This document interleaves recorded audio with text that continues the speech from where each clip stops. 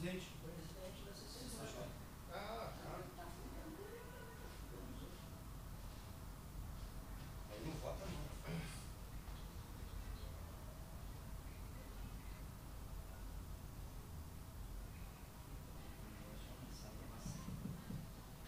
Som. Um, dois, teste, som. Fala 1809 e, e CCJ.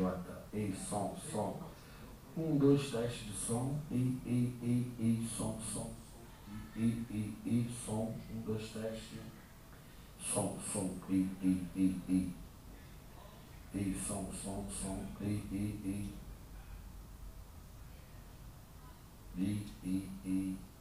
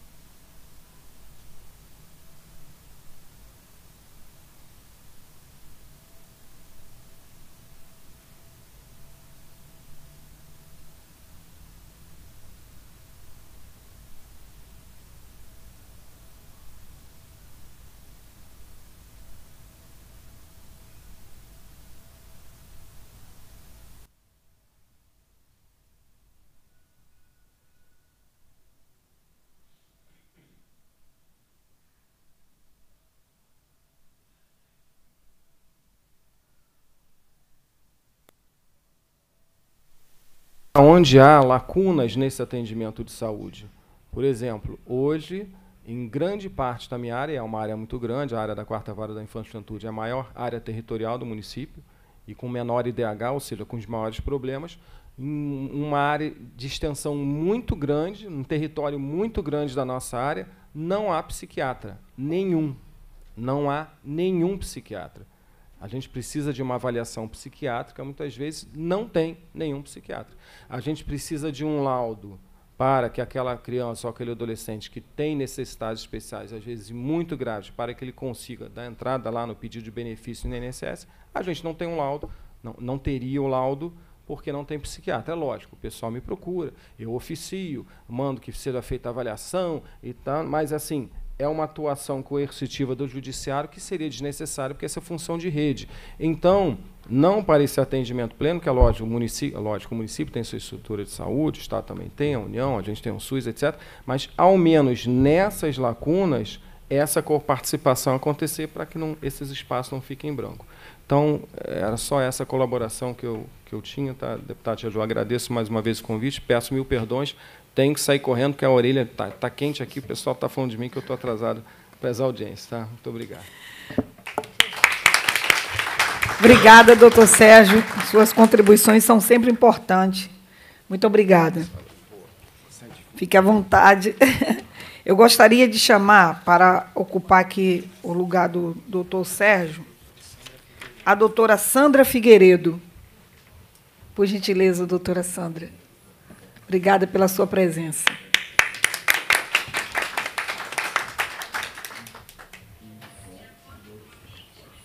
Muito obrigada. Do doutor Sérgio. Deixa eu seguir aqui. Passando a palavra é, para a desembargadora Daniela Brandão Ferreira, que é presidente da Coordenadoria Jurídica de Articulação das Varas da Infância e Juventude do Idoso do Tribunal de Justiça do Estado do Rio de Janeiro, a CEVID. Muito obrigada, doutora, por estar aqui. É muito importante ter a sua presença e a sua contribuição. Muito agradecida, deputada. Me ouvem? Tá, esse, esse microfone está... Está esquisito. Ah, tá bom. Desculpe. Se quiser tirar daqui, às vezes fica melhor para falar.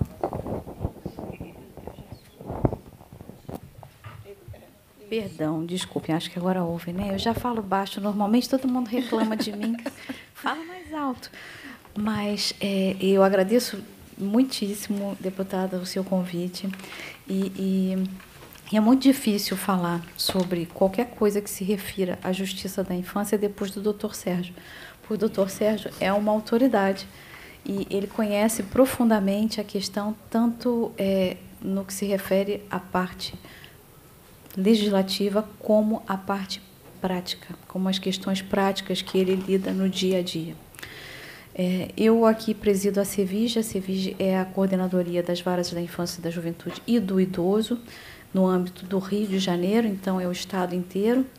É, e para nós é de extrema importância esse projeto, em que se estabeleça um fluxo de atendimento de crianças e um, um atendimento precoce e tardio.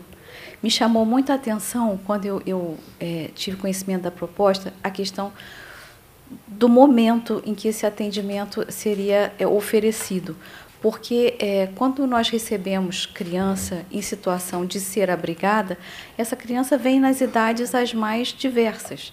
São crianças e adolescentes que às vezes nunca receberam nenhum tratamento e às vezes, é, enfim, têm um, um, tratamento interrompido e precisam que isso seja é, é, é continuado de alguma maneira.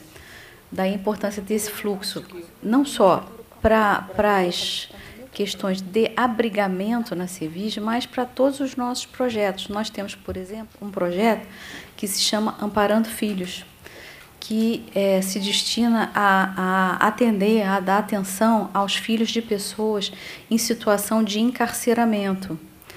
É, então, também aí a gente pode ter situação de necessidade de criança não abrigada que permaneça de alguma maneira na família, mas que precise ser encaminhada para a rede para esse tipo de atendimento.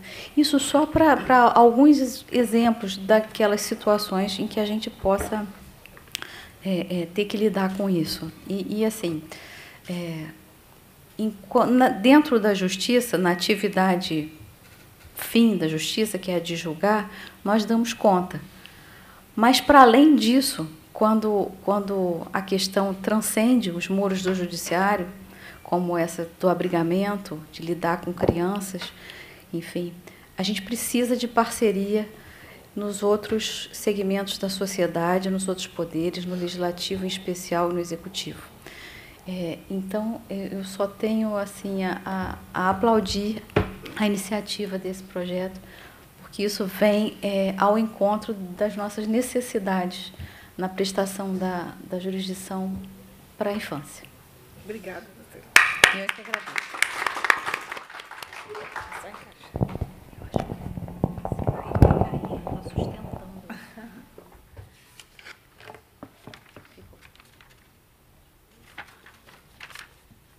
Desculpa, porque eu estou fazendo a anotação no mesmo papel do.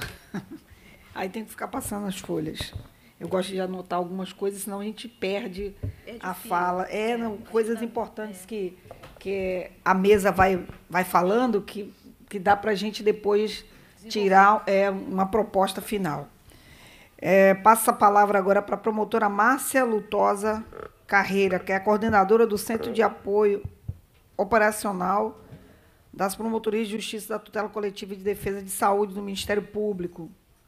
Bom Obrigada, dia. doutora, Bom pela dia. sua presença mais uma vez. Eu é que agradeço o convite, é muito bom estar aqui, a iniciativa maravilhosa. É, agradeço em nome do Procurador-Geral, o convite foi feito a ele e vim representando. É, gostaria de começar falando um pouquinho do trabalho do MP nessa área, que acho importante. É, eu sou promotora de justiça e trabalho na área da saúde, tutela coletiva da saúde, há muitos anos já, mais de 10 anos e atualmente estou como coordenadora do Cal Saúde. Esse nome enorme a gente simplifica, fala Cal Saúde fica mais fácil, que é um órgão administrativo interno que a gente tem no MP para apoiar todos os promotores que atuam nessa área no estado inteiro. E é, é, é, o trabalho deles é fundamental na Pode questão. Pode tirar o microfone se ficar melhor? Acho melhor aqui. É. É, o trabalho deles é fundamental, e eu diria que a parte mais fundamental é a parte extrajudicial. Né? A gente tem promotorias especializadas em saúde no estado todo que procuram verificar é, a implantação das políticas públicas de saúde, assegurar a tutela coletiva dos direitos à saúde. Né? O acesso à saúde é o mais importante. A questão assistencial é a parte mais importante, além de outros é, aspectos importantes, como o financiamento da saúde, enfim, é, é tudo que é relativo à prestação de serviço público de saúde. E nessa questão da, da criança e do adolescente com deficiência, a gente tem realmente muitos problemas né, de implantação de rede. A gente sabe que no SUS, pelo menos, a gente tem muito bem desenhado, muito bem delimitado nas normas, nas portarias do SUS, toda a rede né, para que é, exista um atendimento. É, geral ou especializado a essas crianças e a esses adolescentes. Mas, infelizmente, o que a gente vê é que a gente não tem, em muitos municípios, os componentes dessas redes devidamente implantados, ou quando eles existem, muitas vezes a gente tem diversos problemas que, que infelizmente, são comuns ao SUS como um todo. Né? A gente tem alta rotatividade de profissionais, ou muitas vezes um número de profissionais, profissionais insuficiente. É, o que faz com que o serviço prestado, quando esses pontos de atenção da rede né, existem, que, que ele seja, seja um serviço falho, né, um serviço insuficiente. Então, a gente, quando fala desse público em especial, a gente tem que ter em mente duas redes, né, que são a, a RAPS, né, a rede de atenção psicossocial, e a rede de, de especializada né, para pessoa com deficiência, todas previstas em portarias do SUS, enfim, com todos os seus pontos de atenção delimitados, com o que é mais importante, com a previsão de financiamento. Né? A gente tem previsão, porque, dif diferentemente da, do SUAS, né, o SUS ele tem uma previsão de financiamento. Então, você tem, é, se o município se organizar, a gente sabe que isso tudo é muito difícil, a gente tem muita dificuldade, principalmente nos, nos municípios do interior, é, de pessoal técnico nas secretarias, para parar, pensar um projeto que seja apresentado ao Ministério da Saúde, ao Estado, para obter esses financiamentos, esses, finan esses recursos, esses incentivos para a implantação dos pontos da rede, eles não são recebidos de forma automática pelos municípios. Requer um trabalho, né? requer uma, uma, uma, uma preparação do município para conseguir se habilitar e ter esse, esse, esse recurso. Mas uma vez feito Ih, som, isso, um, dois testes. é possível ao município, com esse financiamento que existe som, já do SUS, testes. manter essa rede em funcionamento. Então, som, a gente som, precisa ih, investir nisso. Eu acho que a gente é importante a gente ter em mente que a gente não vai criar. Eu acho que a ideia não som, seria som, criar nenhum serviço novo, né? A gente é, a gente pode a gente certamente a gente já sabe som, disso, né? Que a criança com deficiência, adolescente com deficiência, deficiência, ele deve, é, vamos dizer, num primeiro momento, né, a gente está som, falando som, de diagnóstico som. é, precoce, enfim, Ih, é, som, desse som, percurso ih. todo. Num primeiro momento, ele pode ser alcançado, né, a situação dele, a dificuldade dele pode ser é, vista por um agente comunitário de saúde. E aí a gente está falando de rede geral de atenção à saúde, a gente está falando de, de unidade de atenção primária, né, que a gente sabe é, que a atenção primária ela tem uma enorme capilaridade, você tem unidades de atenção primária espalhadas pelo território de quase todos os municípios. É claro que a cobertura de atenção primária varia muito né, no estado do Rio, a gente tem municípios com uma cobertura baixa ainda, mas, enfim, em princípio, aquela unidade de atenção primária e a equipe que ali está, ela poderia, porque ela visita né, a população adstrita, porque ela conhece seu território, ela poderia fazer a captação dessas, né, dessas crianças e adolescentes com essas necessidades especiais. E daí haveria a referência para o ponto da rede especializada. É que mora o problema, na maioria das vezes. Né? A gente tem muita dificuldade em muitas, eh, muitos municípios e regiões de saúde, porque a gente sabe que, é, só para citar um exemplo de ponto de atenção da rede né, especializada, a gente sabe que os centros especializados de reabilitação, eles é, muitas vezes são custosos né, para manter. Então, é, nem todo município pequeno vai ter condição de ter um CER, né? mas é claro que é possível fazer diversos arranjos né, entre municípios de uma mesma região para que se tenha um, um centro como esse. Então, eu acho que isso precisa ser é, incentivado, cobrado. Né? É, outros pontos da rede, as oficinas é, ortopédicas, é, atendimento especializado em odontologia, enfim, vários outros pontos dessa rede precisam ser fixados, ainda aqui de forma regional, que eu acho que é até o mais racional, pensando em custo, pensando em benefício, eu acho que é o mais racional. Então, isso precisa ser incentivado. E, e também no que se refere a RAPS, eu acho que a gente precisa ter essa questão até que o, o, o Sérgio comentou, Sérgio até meu ex-colega de concurso, ele já foi é, do Ministério Público, nem sei se todos sabem, né? nós éramos da mesma turma, depois é que ele foi para a magistratura. É, ele comentou aqui a questão da falta de, de psiquiatra, né? A gente tem um ponto da rede de atenção psicossocial, que são os CAPSIs, e que eu acho que atualmente eles têm uma, uma utilização muito aquém do que eles poderiam, eh, do que es- esses pontos da rede poderiam é, prestar, né, em termos de serviços para a população. Então, é, não é dizer que não tem. Realmente, o, o psiquiatra ele é um profissional difícil, né? Mas a gente sabe que a atenção psicossocial ela é multiprofissional, né? Ela não é. A gente não tem que contar só com o psiquiatra para fazer uma avaliação. Muitas vezes não, não é preciso. Né? Em alguns casos, você tem a equipe multi que vai fazer aquela, aquela avaliação inicial, enfim, e pode ser preciso, pode não ser preciso a presença do psiquiatra. Então, o mais importante é a gente entender que a gente tem que reforçar esses pontos da rede que já existem. E, em termos de CAPSI, a gente tem a previsão nas portarias do Ministério da Saúde multiprofissional formada por vários profissionais. Né? Então, psicólogos, psiquiatras também, mas é, terapeutas ocupacionais, enfim, assistentes sociais, farmacêuticos, etc. São muitos profissionais.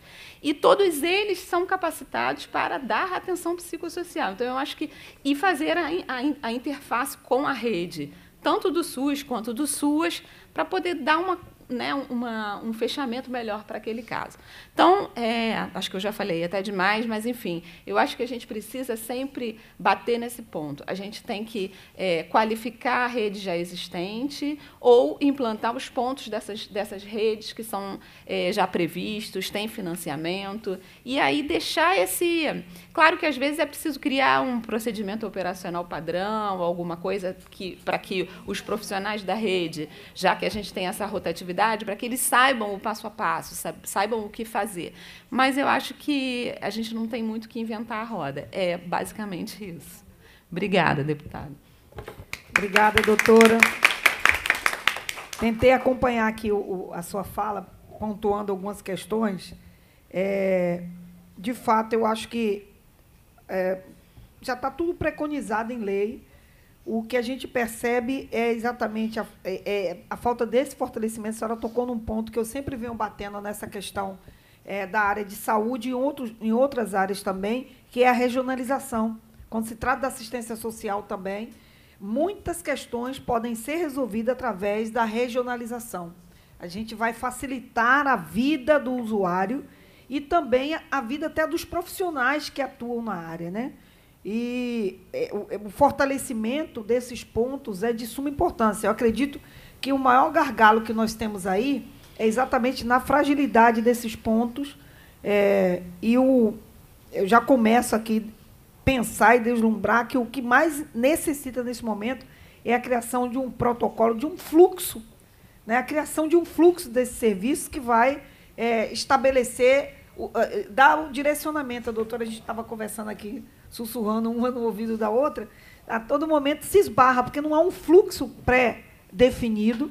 Isso facilita muito. Né? E vamos ouvir aqui os demais componentes da mesa. Tem pessoas aí também que estão participando na plateia que vai poder dar contribuições e a gente poder é, sair aqui com um encaminhamento benéfico que será bom para todos, né? Para o usuário, para a rede em si para o judiciário, que também fica naquela angústia, né? Tem que, como o doutor Sérgio colocou, tem que judicializar muita coisa que não precisava ser judicializado. É, já poderia estar acontecendo, mas sem um fluxo estabelecido realmente fica muito difícil. Passa agora a palavra ao defensor público é, Rodrigo Azambuja, que é um querido nosso, gente. Doutor Rodrigo já virou amigo, já, né, doutor Rodrigo? Eu falo tanto com o doutor Rodrigo incomodo ele o tempo inteiro, finais de semana, feriado, a todo tempo. A gente tem algumas dúvidas e eu, eu logo ligo para o doutor Rodrigo e ele vai me dando o direcionamento. Agradeço muito ao senhor por, por essa prontidão sempre, né?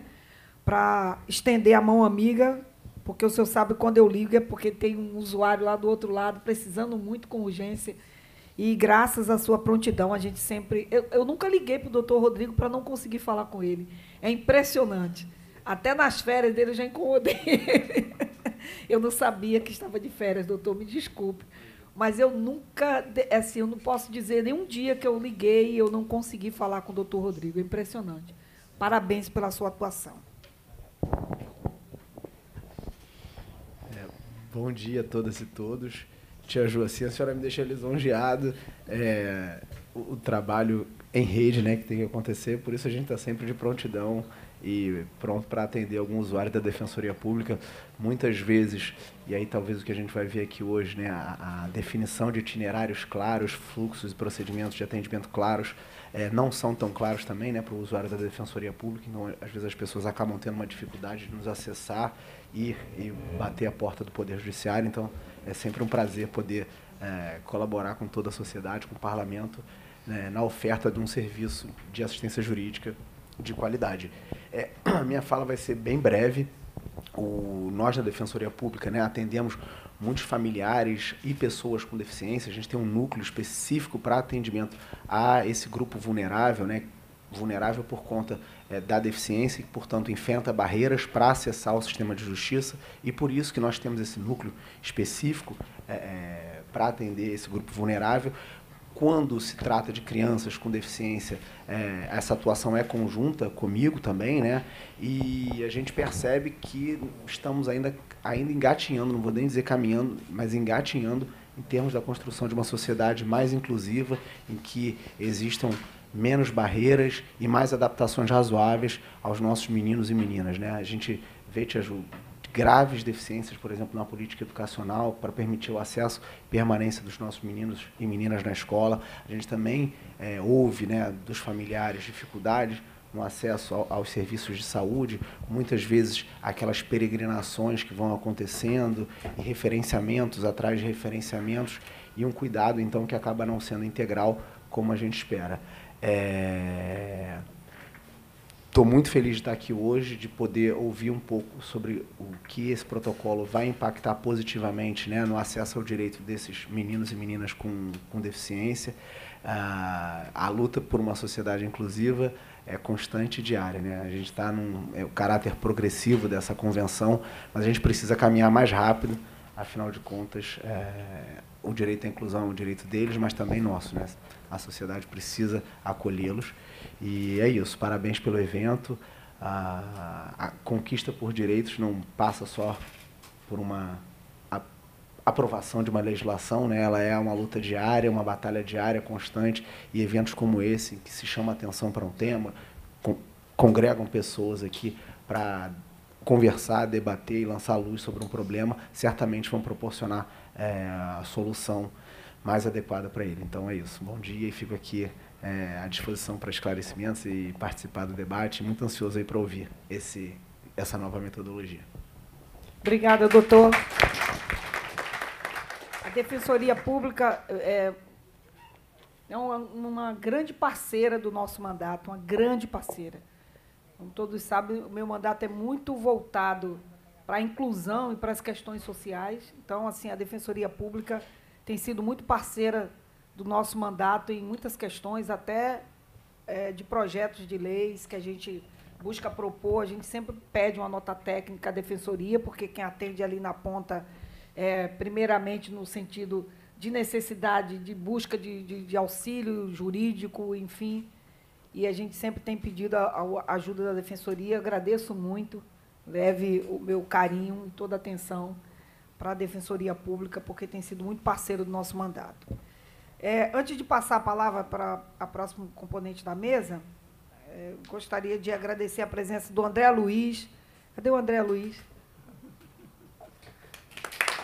O André Luiz, na verdade, foi quem nos procurou, né, André? Trazendo essa, essa demanda para a gente.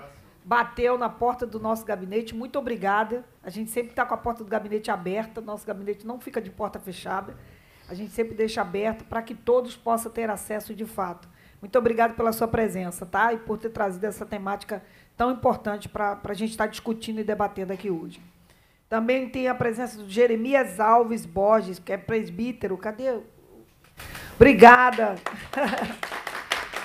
Os nossos reverendos é, aí também preocupados né, com essa questão, porque as igrejas também têm muitos membros que acessam a igreja e acabam pedindo ajuda também e um direcionamento.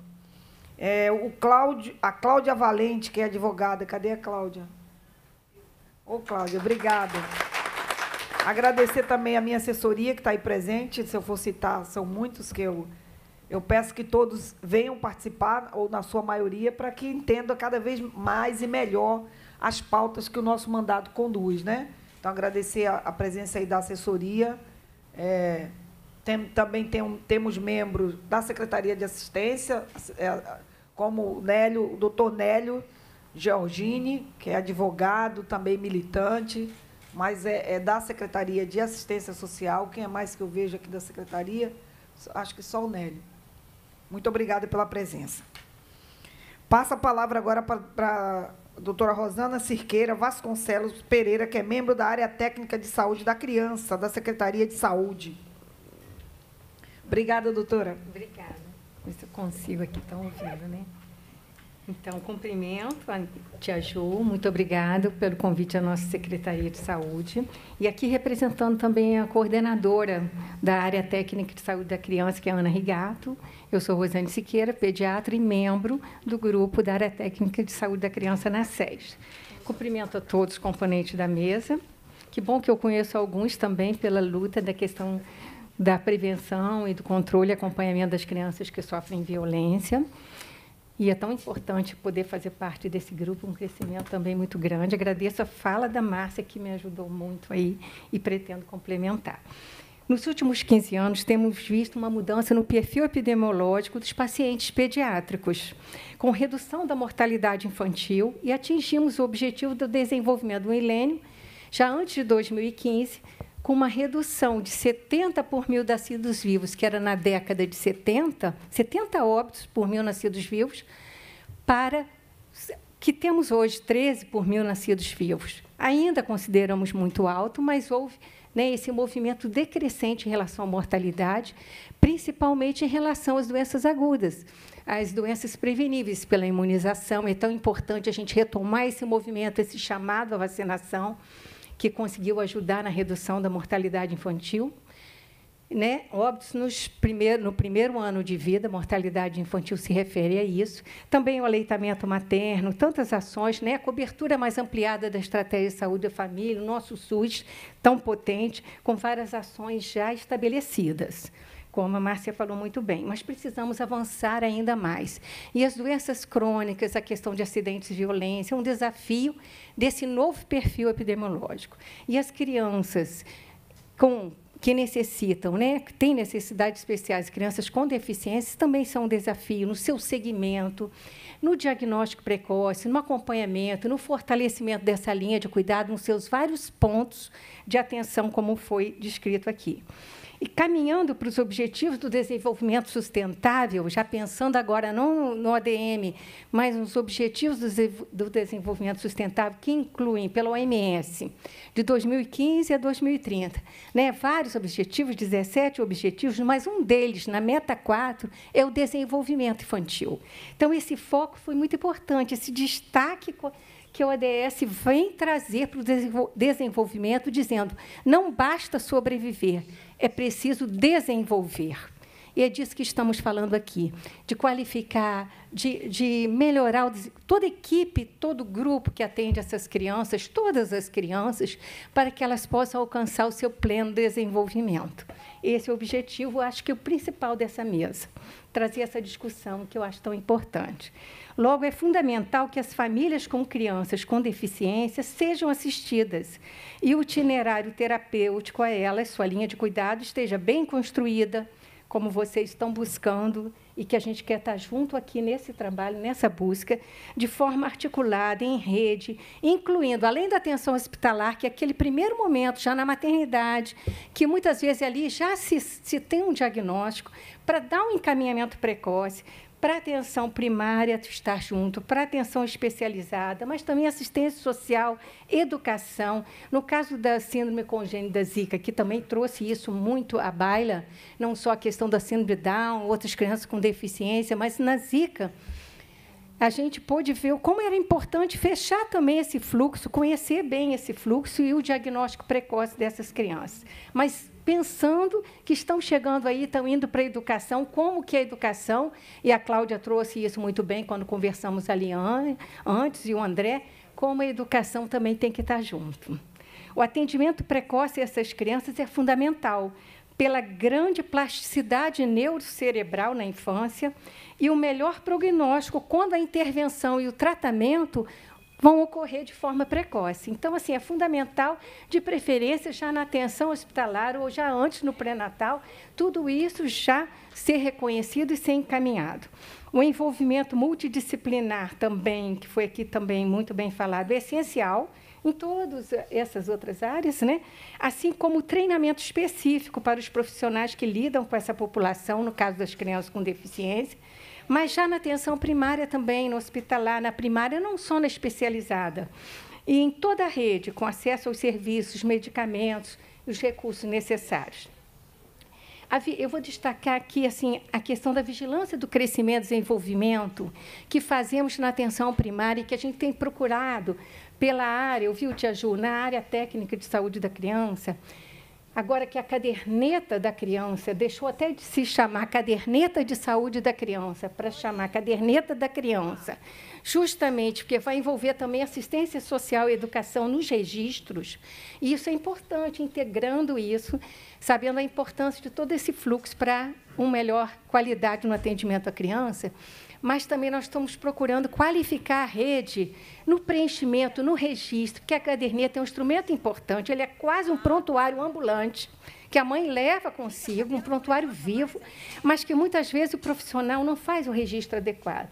E dentro dela tem os marcos do desenvolvimento, que são fundamentais para você reconhecer qualquer atraso, qualquer. Muitas vezes a mãe até verbaliza isso e o profissional ali tem, assim como tem aquela curva do crescimento, ele tem uma planilha do desenvolvimento onde cada etapa da criança pode ser registrada mas muitas vezes não é registrado. O trabalho do Fernandes Figueira, com essa pesquisa de caderneta, mostrou assim que menos de 10% dos profissionais, e a gente tem que fazer aqui meia-culpa, né, registravam na caderneta o desenvolvimento. A preocupação ainda está muito né, na questão do crescer, do peso, da altura. A gente tem que se preocupar com o desenvolvimento. Esse chamado OED, da, do dos ODS, trazendo na Meta 4 desenvolvimento, é importante a gente tomar para a gente assim, tudo que a gente puder pensar mesmo em qualificar o cuidado do desenvolvimento de forma precoce, o estímulo, as famílias serem capacitadas também para estimular. Muitas vezes, só em um centro de reabilitação, a gente sabe que consegue consultas muito espaçadas, e essas crianças precisam de estímulo no cotidiano das famílias. Fizemos também treinamento com caixas de bacia, que era brincando com caixas e discutindo com a mãe nesse brincar como ela podia estimular dentro de casa o seu filho. Então, isso tudo é muito importante. Uma parceria com o EFF, com o Fiocruz, o próprio Ministério na época. Então, o que eu desejo aqui é isso, que a gente possa trabalhar mais juntos, fortalecendo mesmo, como a Márcia disse, qualificando essa rede já existente. Mas eu acho que a gente podia pensar até num folder, um folheto com um protocolo, com os fluxos, tanto em cada município quanto um estadual. Pensamos isso no começo, na questão da Zika, mas ele se adapta a qualquer criança com deficiência, saber onde buscar, para onde ir. Tá bom? É uma proposta. Obrigada.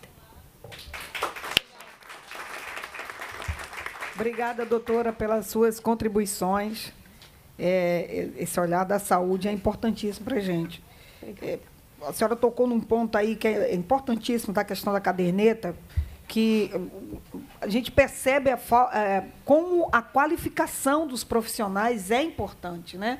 Os profissionais precisam estar preparados para fazer uso do que os protocolos já determinam. Né? Está ali, está posto, mas não há a qualificação desses profissionais e acaba com a caderneta que pode é, é, ajudar tanto, não, não vem sendo utilizada como deveria ser utilizada. Isso me fez lembrar, doutora, alguns anos atrás, mais ou menos uns cinco anos atrás, eu conheci um programa na, na, na, no estado de Alagoas. Um programa, um sistema que a Prefeitura de Alagoas implantou, que integra a, todas as informações é, dos usuários em rede através de um sistema, de um, de um software, é, integra saúde, educação, assistência social, todos os serviços que o usuário, é, os mais vulneráveis precisam, esse sistema integra, fazendo interlocução que a gente tanto é, anseia e deseja, que é a transversalidade. E é, eu apresentei, em algum, eu tive a oportunidade, através da frente parlamentar, que eu faço parte, uma frente parlamentar nacional, apresentei, é, falei sobre, muito vagamente, do que eu vi em alguns estados, e aí, é, se eu não me engano, hum, é, foi o estado do Paraná implementou também, colocou esse software, e que ele se autossustenta mesmo, há um investimento inicial, mas que é um investimento que vale muito a pena, pelo que eu vi. É, a, a partir do aplicativo, o governador, o prefeito, tem todas as informações individuais de cada usuário, a saúde tem, a educação tem, e facilita o preenchimento de relatórios que demandam muito tempo. e que muitas vezes é, o Estado, o município, deixa de receber recurso porque não há tempo hábil e mão de obra qualificada para o preenchimento desses formulários e que o, o software já faz automaticamente a partir das informações que são lançadas. Então, é, é, a senhora falou da caderneta, me lembrei desse software. Imagine, colocar também, integrar a caderneta hoje num sistema como esse. A gente está vivendo a era da tecnologia, né? E falta realmente muita mão de obra, o trabalho é muito intenso. E, e a importância da qualificação da equipe. Né? É, de, é de suma importância. É, de repente, tem profissionais que não é, tem, teve o conhecimento naquele momento da caderneta e, e se esqueceu, porque não houve aquela, aquela, é, aquela intensa qualificação né, deles para que eles façam uso de algo tão importante e essencial para o usuário para a criança, né? O, o treinamento, fazer um treinamento que não demanda muito tempo e que é de suma importância, faz um diferencial enorme na ponta, né? É, é impressionante. Eu anotei até isso aqui. Obrigada, doutora. Eu passo agora a palavra para a doutora Sandra Figueiredo, é, que é do Ministério da Saúde, do Hospital Federal Cardoso Fonte, que é uma referência né, em pacientes é, especiais. Ela é vice-coordenadora de odontologia. Doutor, eu tive num evento. É, eu levanto muito a bandeira do autista e eu tive num evento que estava ali com odontologistas que se empenham muito na, no atendimento odontológico da, da, da pessoa com TEA, que é extremamente difícil. E que eles fazem um trabalho lindo na cidade de Nova Friburgo. Eu fiquei encantada com o trabalho. E aí a gente começa a desejar que isso vire rede, entre na rede e funcione também. Porque quando a gente ah, encontra profissionais assim, é, é, são instituições né, que são cofinanciadas pelo município que tem, vem prestando um atendimento fantástico às pessoas com TEA e tem conseguido tratar aí quantas crianças gritam e gemem, é, crianças com deficiência, pessoas e adultos que têm dificuldade no atendimento e gemem muito com dor de dente, né? Um atendimento básico, mas que pa, para eles se torna muito complexo. Né? Mas eu vi ali um trabalho excelente. Parabéns, doutora. Obrigada por estar aqui. É, bom dia a todos. Se a senhora puder falar mais perto para. Então, vamos lá. Bom dia a todos. Eu sou a Sandra Figueiredo, eu tenho 33 anos de formada, já trabalho com pacientes especiais em torno de 20 anos e eu venho representando a doutora Françoise, que é a nossa coordenadora do setor de odontologia do Hospital Federal Cardoso Fontes. Eu sou servidora federal, é, eu estou, de uma certa forma, emocionada por, por estar no meio é, de tantos profissionais renomados e trazer a odontologia para essa inclusão, que a odontologia sempre é o final do corredor. E, na verdade, nós não somos o final do corredor. Eu quero agradecer principalmente a deputada Tia Ju, por esse olhar para a odontologia. Queria falar um, rapidamente do nosso serviço e dizer que, como ela falou que a gente trata de dente, a gente não trata só de dente.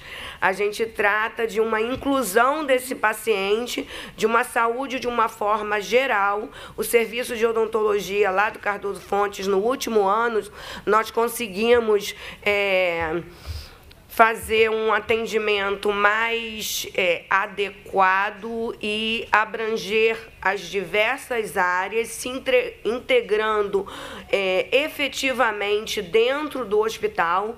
Hoje a gente tem atendimentos para as crianças, não só crianças, porque quando a gente fala pacientes especiais, a gente abrange diabético, hipertenso, neurológico, paralisia cerebral, mas aqui eu vou focar basicamente nas nossas crianças e adolescentes.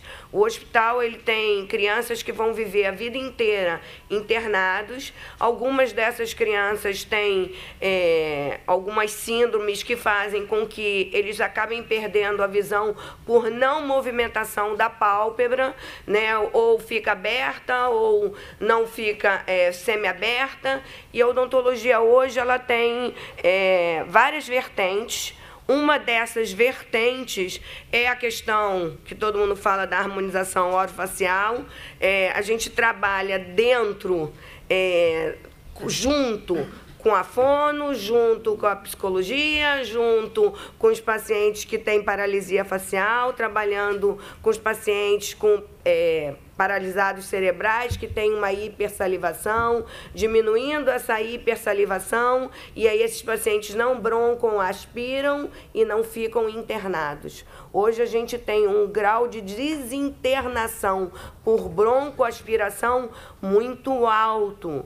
E isso quem faz é a odontologia né? Não é só tratar dentes. Dentes é muito importante, vai fazer parte da mastigação, não vai deixar esse paciente ficar é, do, é, com dor em casa, vai fazer com se ele come, ele evolui, ele, ele cresce, mas não é só isso. O olhar da, para o paciente especial hoje da odontologia é muito mais do que isso. Pacientes sindrômicos, pacientes que têm distonias, que eles têm movimentos involuntários da musculatura musculatura, eles são abraçados pela odontologia, fazendo com que a gente controle esses movimentos e que esse paciente se integre à sociedade. Porque muitas vezes esses pacientes que têm distonias, as pessoas não conseguem se relacionar com eles, porque eles têm movimentos involuntários e é estranho para o resto da população. Então a gente faz muito mais do que tratar dentes. A gente trata, né? Nós é, no último ano nós pegamos uma fila de 100 pacientes e fizemos internação desses 100 pacientes e tratamos sob anestesia geral é o único hospital de referência Brasil, nível Brasil, é, que faz esse tipo de tratamento para todas as faixas etárias. O autista, muitas vezes, ele não deixa fazer o tratamento na cadeira, então é, ele é, faz um pré-operatório e a gente interna esse paciente de um dia, trata tudo o que tem para fazer e dá alta para esse paciente. E aí esse paciente volta a ser um paciente ambulatorial. Hoje o que eu vejo que a gente tem é, de maior demanda é a divulgação do nosso serviço.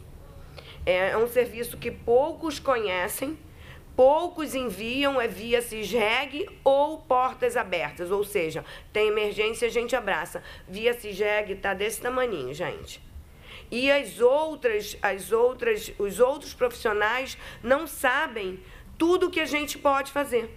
Né? Hoje a gente tem é, dentro do CTI a odontologia trabalhando e fazendo com que é, se diminua o tempo de internação de todos os tipos de paciente. E aí a gente inclui o nosso paciente especial da odontologia tratando dentro do CTI. Hoje a gente tem a odontologia tratando ambulatorial que fica mais barato, né? É, para os pacientes que permitem esse tratamento. Então, assim, eu venho agradecer muito a nossa inclusão aqui, né, nessa mesa, porque eu acho que os que estão aí nos ouvindo, me ouvindo, vão ser multiplicadores dos serviços que nós podemos prestar né, dos serviços que estão crescendo. É, invariavelmente, as mãezinhas passam para as outras mãezinhas, mas não é isso que a gente quer. A gente quer que os profissionais de saúde saibam do potencial do Cardoso Fontes e, assim, como sugestão, é, que são é, profissionais que estão já preparados, se a gente quer multiplicar isso, talvez seja interessante que os profissionais de lá acabem treinando outros, outros profissionais. Não sei se é porque eu sou professora, eu tenho mestrado, então a gente faz muito isso. A gente preparou os nossos profissionais e sejam multiplicadores no estado do Rio de Janeiro e, quiçá, Brasil, porque é, só o Cardoso Fontes abranger Brasil é difícil, é muito custoso, mas a gente tem pacientes que vêm do, do norte, do nordeste, do interior do estado e que a gente acaba acolhendo essa família e, e trabalhando, ó, mas eles não têm a continuidade no município dele.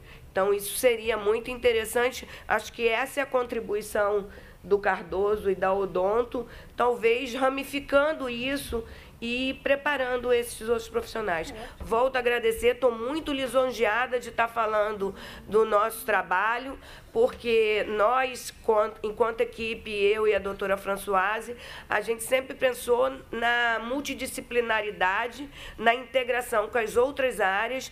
Incrivelmente, nós somos super bem recebidos. A odonto, quando entra nos nossos pacientezinhos da pediatria, eles não, vem cá, vem cá, vem cá, vem. Então, ó, tem um bebê que não mama. Aí a gente fala, não mama por quê? Aí vai avaliar a linguinha, a gente faz com 20 dias, às vezes cirurgia, esse paciente volta a mamar e aí ele começa a ganhar peso. Então a odontologia, volta a dizer, não é só dente. Né? A gente tem que tratar o indivíduo. Muito obrigada. Se quem quiser, assim, eu estou disponível, vou ficar até o final. Se quiser o contato, tamo junto, tá? Obrigada, doutora. É, é riquíssimo assim esses debates por isso, como eu falei. Às vezes a gente é, eu me desdobro muito para estar em mesas de debate, sou convidada, às vezes em outro município eu vou, porque a gente acaba aprendendo muito, e como a senhora falou, a gente passa a ser multiplicadora. Eu conheci esse grupo lá em Nova Friburgo, é, a gente trouxe, a gente, é, eu tenho dois amigos que são é, é odontólogos e como trabalha toda uma face, todo, toda uma musculatura, né? é, é para além disso, a gente lembra é, por conta dos relatos de, de algumas mães que estavam lá, que vi, os filhos estavam chorando, chorando, não sabiam o que era, e tinha tudo a ver com a mastigação, com a dentição dele, e depois não precisou nem fazer, não era obturação, não era nada. Era simplesmente o trabalho que o, o odontologista iria fazer para que ele tivesse o movimento articular da sua face. Então, realmente é, é para além, é, é maravilhoso. Assim, eu já coloco o meu mandato à disposição, já pensei em algumas coisas aqui da gente é, fazer para a divulgação e para a capacitação de outros profissionais, isso é de suma importância, trazer, dar visibilidade. Né? De repente, a gente, é, a partir daqui hoje, a gente criar um dia específico, específico de divulgação desse trabalho em massa, que é, é uma forma também da gente fazer. A gente, às vezes, quando a gente faz uma inclusão, doutoras aqui, na maioria mulheres, né? É, doutor Rodrigo Azambuja, que me perdoe, mas eu adoro quando eu estou numa mesa onde os homens são apenas cota. Né? Eu fico muito feliz. é verdade. Eu fico super feliz porque é muito difícil, a maioria dos lugares que a gente vai, a maioria tudo são homens. Né? Eu, eu convivo num, num, num ambiente totalmente masculinizado, né? Que eu sempre brinco, faço muita palhaçada. Ontem mesmo a gente estava num numa reunião aqui, no encontro com o presidente do TJ, e é muito terno azul, preto, muito, sabe? E aí fica a, as mulheres com bastante colorida, e eu brinco, coloco, mistura aí com as mulheres para dar um colorido, esse negócio tudo preto, tudo escuro, é, é por conta do ambiente masculinizado.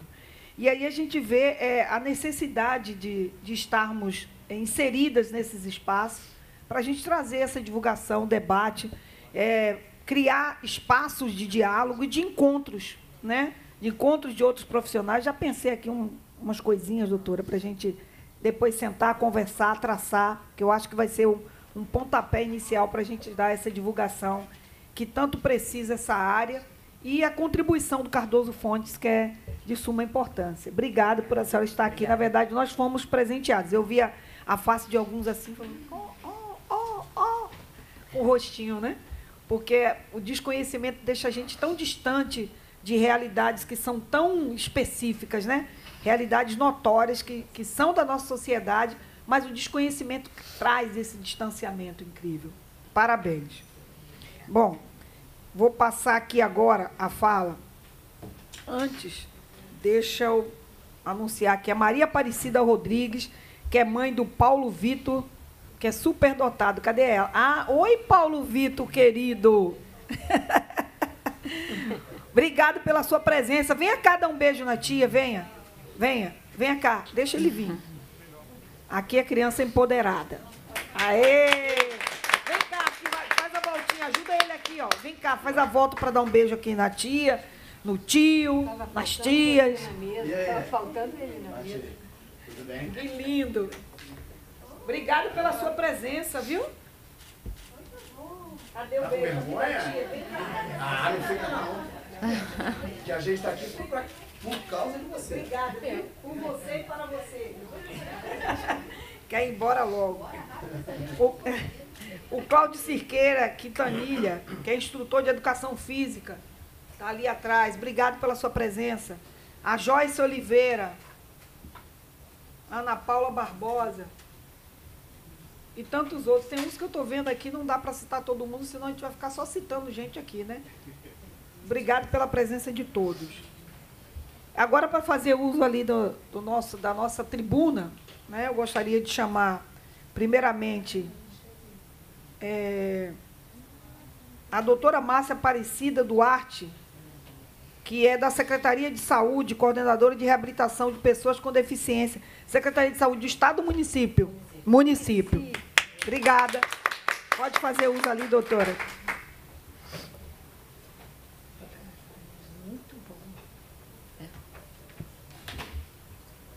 Pode tirar.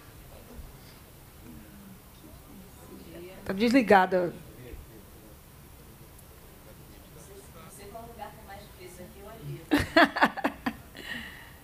Mas, assim, Tia Ju, agradeço o convite. Né? Eu estou aqui representando o nosso secretário municipal de saúde, doutor Rodrigo Prado, porque eu sou coordenadora, estou né, como coordenadora da Rede Cuidado da Pessoa com Deficiência no município do Rio de Janeiro.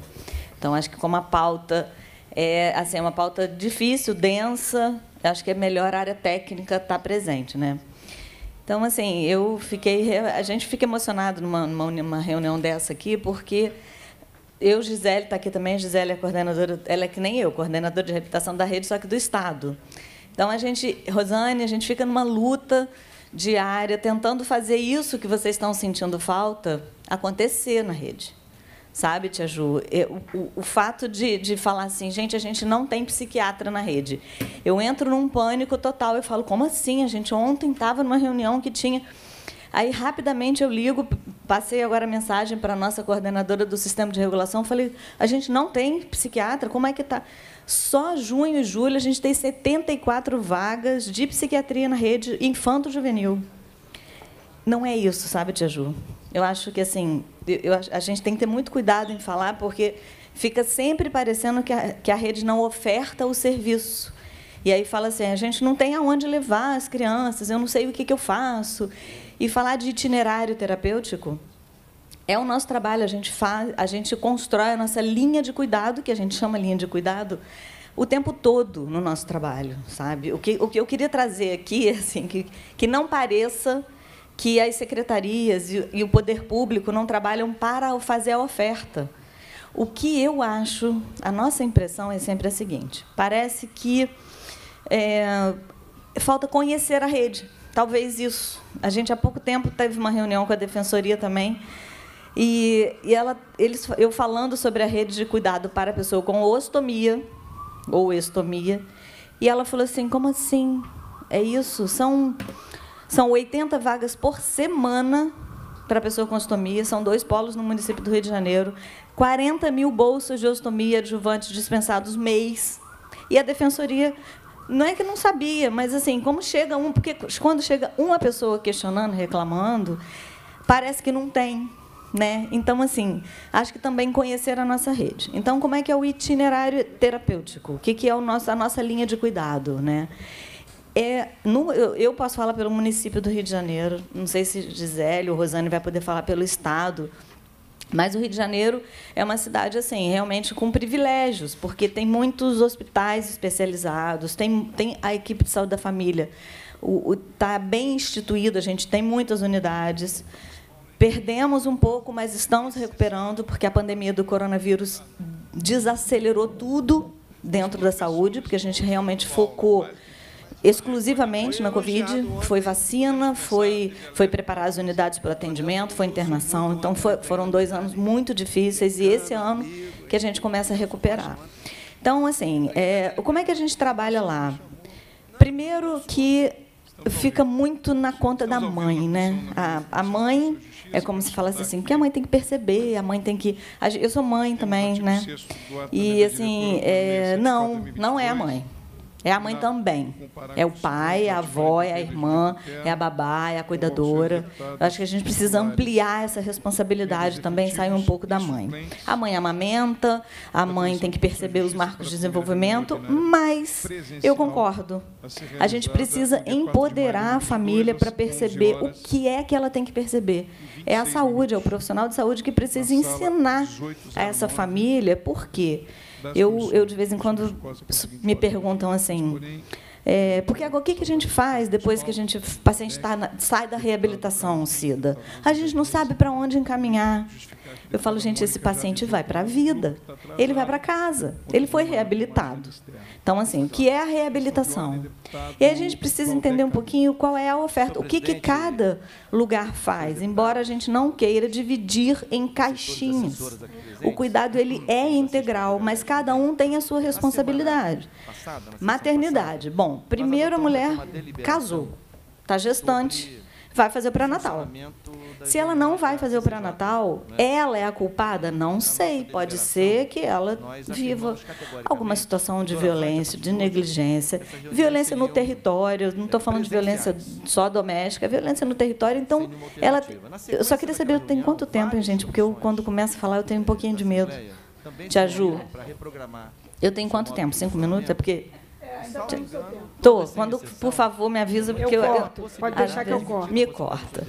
É, não, porque é, um, é uma coisa assim, gente. Ontem eu estava num fórum de reabilitação em, em Bangu. A gente faz fóruns de reabilitação para discutir caso.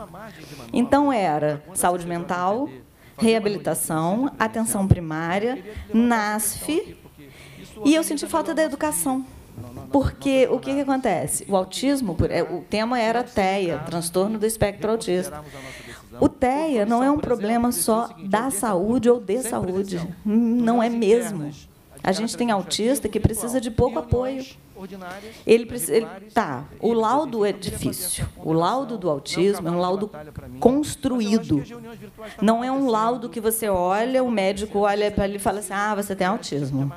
Fica com a criança cinco minutos e fala: hum, correu muito, ih, não olhou para mim, ih, não tem autismo. A gente reza para que isso não aconteça, não aconteça. Porque o laudo do autismo é um laudo que precisa ser construído com a equipe multidisciplinar. E é isso que a gente precisa deixar claro. Às vezes ele que falou aqui, preciso do psiquiatra para fazer meu laudo. Não, às vezes não preciso do psiquiatra para fazer o laudo. Se, talvez precise do psiquiatra para medicar, caso ele precise de medicação. O médico da, da, estratégia de saúde da família, a equipe do NASF, a equipe da reabilitação, a equipe do CAPSI, tem condição de elaborar e construir esse laudo. Tá? Precisa ter o CID, então tem que ser um laudo médico. Ok. Então, o médico, quando ele desconfia, quando ele tem. Ele vai lá e convida a equipe multidisciplinar para compor esse laudo. Então, gente, eu acho que assim, a gente tem a oferta, a gente tem aqui no Rio seis centros de reabilitação não todos quatro, porque cada um é, tem uma modalidade. Né? O CER4 é o Oscar Clark, que atende física, auditiva, visual e intelectual. É, em Bangu, a gente tem um CER3, que atende auditiva, física e intelectual. Em Jacarepaguá, a gente tem um CER2, que é auditiva e física. Tem o Senon, que é auditiva e intelectual, e a BBR, que é física e intelectual. E a oficina ortopédica. Então, é a oferta especializada. Mas essa criança não tem que ficar dentro da reabilitação. Ela vai para a reabilitação. Ela, aí a gente treina autonomia, independência, potencialidades, habilidades e dá alta. Porque a mãe fica querendo que ela fique na reabilitação. E, Ai, não, não dá alta, não. Por quê? Porque ali é um lugar de cuidado, ali é um lugar de especialista. E o que, que a gente tem trabalhado muito nos últimos anos? Treinar a família. Isso hoje é base do nosso serviço de reabilitação. Treinar a família. Aprendemos muito nesse período da pandemia. Estou toda arrepiada porque foi um período difícil, porque a gente não podia parar o estímulo dessas crianças e a gente contou com a família em casa para fazer os exercícios e tudo que a gente fazia no centro e as mães faziam todo dia e as crianças melhoraram muito mais rápido. O melhorar, melhorar no sentido de evoluir Criança que não se movimentava, arrastou. A mãe ficava na cozinha, cozinhando e jogando a garrafa de Coca-Cola vazia. E, o, e, a criança se arrastando atrás da garrafa de Coca-Cola. E ela fez isso todo dia. E a criança, em dois meses, ficou em pé. Então, assim, e por que, que a gente não fazia isso antes? Né? Eu, eu não, não me pergunto isso como se fosse uma culpa, nossa culpa, não. Mas eu me pergunto porque, às vezes, a gente não quer também transferir mais alguma coisa para essa família, porque já é tanta coisa que a gente tem que fazer, mas, gente, infelizmente, é nosso. É nosso, é, é da mãe, é do pai, é da família. É da educação, é da saúde, é da assistência social, é também, mas é a gente dentro de casa que vai potencializar essa criança. Tá? Não entendam, eu não estou querendo tirar a responsabilidade dos profissionais, não. Eu só acho que a mãe, quando estiver lá dentro, já tive essa discussão com todos os diretores de, de, de de reabilitação, de que a criança entra, a mãe fica do lado de fora. Eu proíbo, eu proíbo quem sou eu, né? Mas assim, eu falo, gente, por favor, a mãe tem que entrar, a mãe tem que ver isso. Ah, mas ela não é fisioterapeuta. Eu tenho medo de, em casa, ela alongar errado. Eu falei, ela não vai alongar errado. Ela vai alongar. Como é que você ensina ela a fazer direito? Ela não tem que ser fisioterapeuta da criança dela, mas ela tem que aprender que ela precisa botar o garfo um pouquinho mais em cima para ele esticar a mão. Então, assim, isso é importante de estimular. Estimulação precoce é um nome que a gente usa muito. E eu gosto de usar a estimulação em tempo oportuno, porque precoce parece que você tem que fazer antes, né? Tipo assim, quanto mais cedo melhor. Não, estimular é para sempre. A gente tem que estimular para sempre. Até hoje, minha filha está estudando, ela tem 20 anos, eu falo com ela, filha, senta direito, por favor. Toda torta. Está escovando o dente no banheiro, porque, Sandra, eu sou dentista também, estou mega feliz.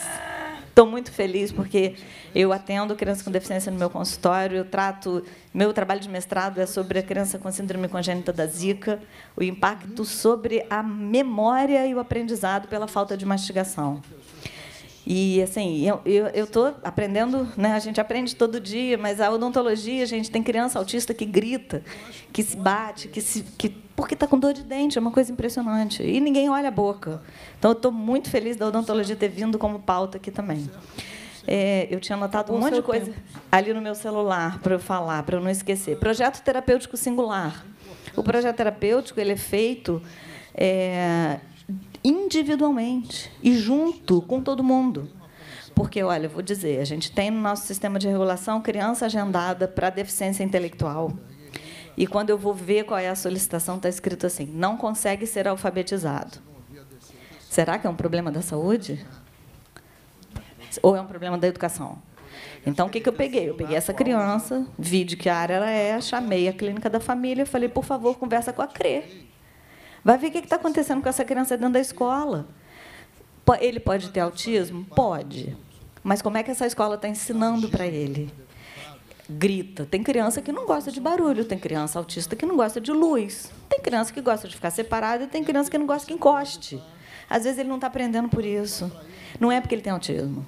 Ele não precisa da reabilitação, ele precisa que a escola entenda como ensinar para ele. Então, Tia Ju, o que eu digo, assim, o que eu sempre defendo é o seguinte: fica muito na conta da saúde. Sabe, tudo fica muito como se a saúde não ofertasse, como se a saúde. A gente conversa muito com o Ministério Público toda hora, com a Defensoria, a gente tem lá demandas difíceis até, porque fica assim parecendo que a gente não tem. A gente, a gente trabalha muito para ofertar é, essa gestão agora tem, tem um ritmo aceleradíssimo, ainda mais que a gente perdeu aí um ano na pandemia, ano passado vacinando, né? Esse ano agora a gente está com demanda, a gente está escrevendo guia rápido. Os guias rápidos, eles são o quê? Esse fluxo. Exatamente. Como, doutora, é, é, é como acabar, acessar né? esse, esse, então. esse guia rápido? Porque assim, eu estava aqui.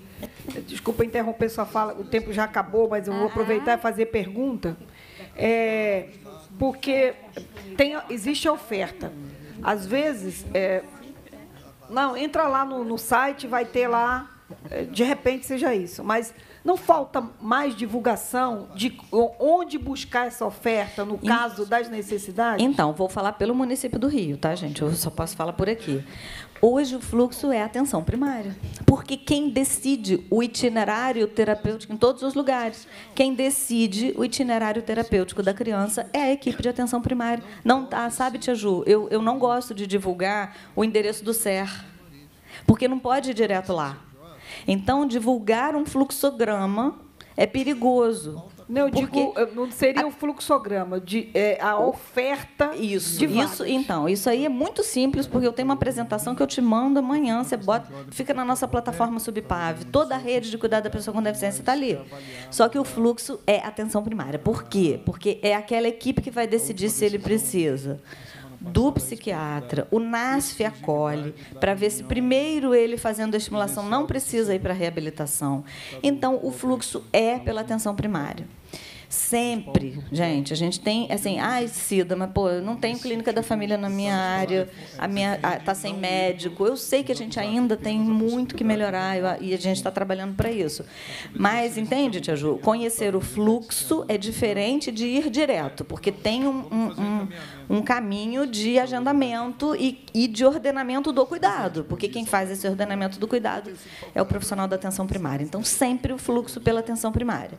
O que a gente tem de oferta na rede, aí eu disponibilizo para vocês e de um jeito muito fácil. O guia rápido é, a gente está fazendo um guia rápido da tuberculose, um guia rápido para a hanseníase, um guia rápido para a atenção à pessoa com deficiência na atenção primária. Então, a gente está desenvolvendo o que são guias rápidos para o profissional e que o paciente pode, porque isso fica disponível na nossa plataforma, ele vai ter acesso também. Hoje, essa plataforma ela tem uma área de acesso pública, né, que qualquer um pode acessar, e uma área para profissional.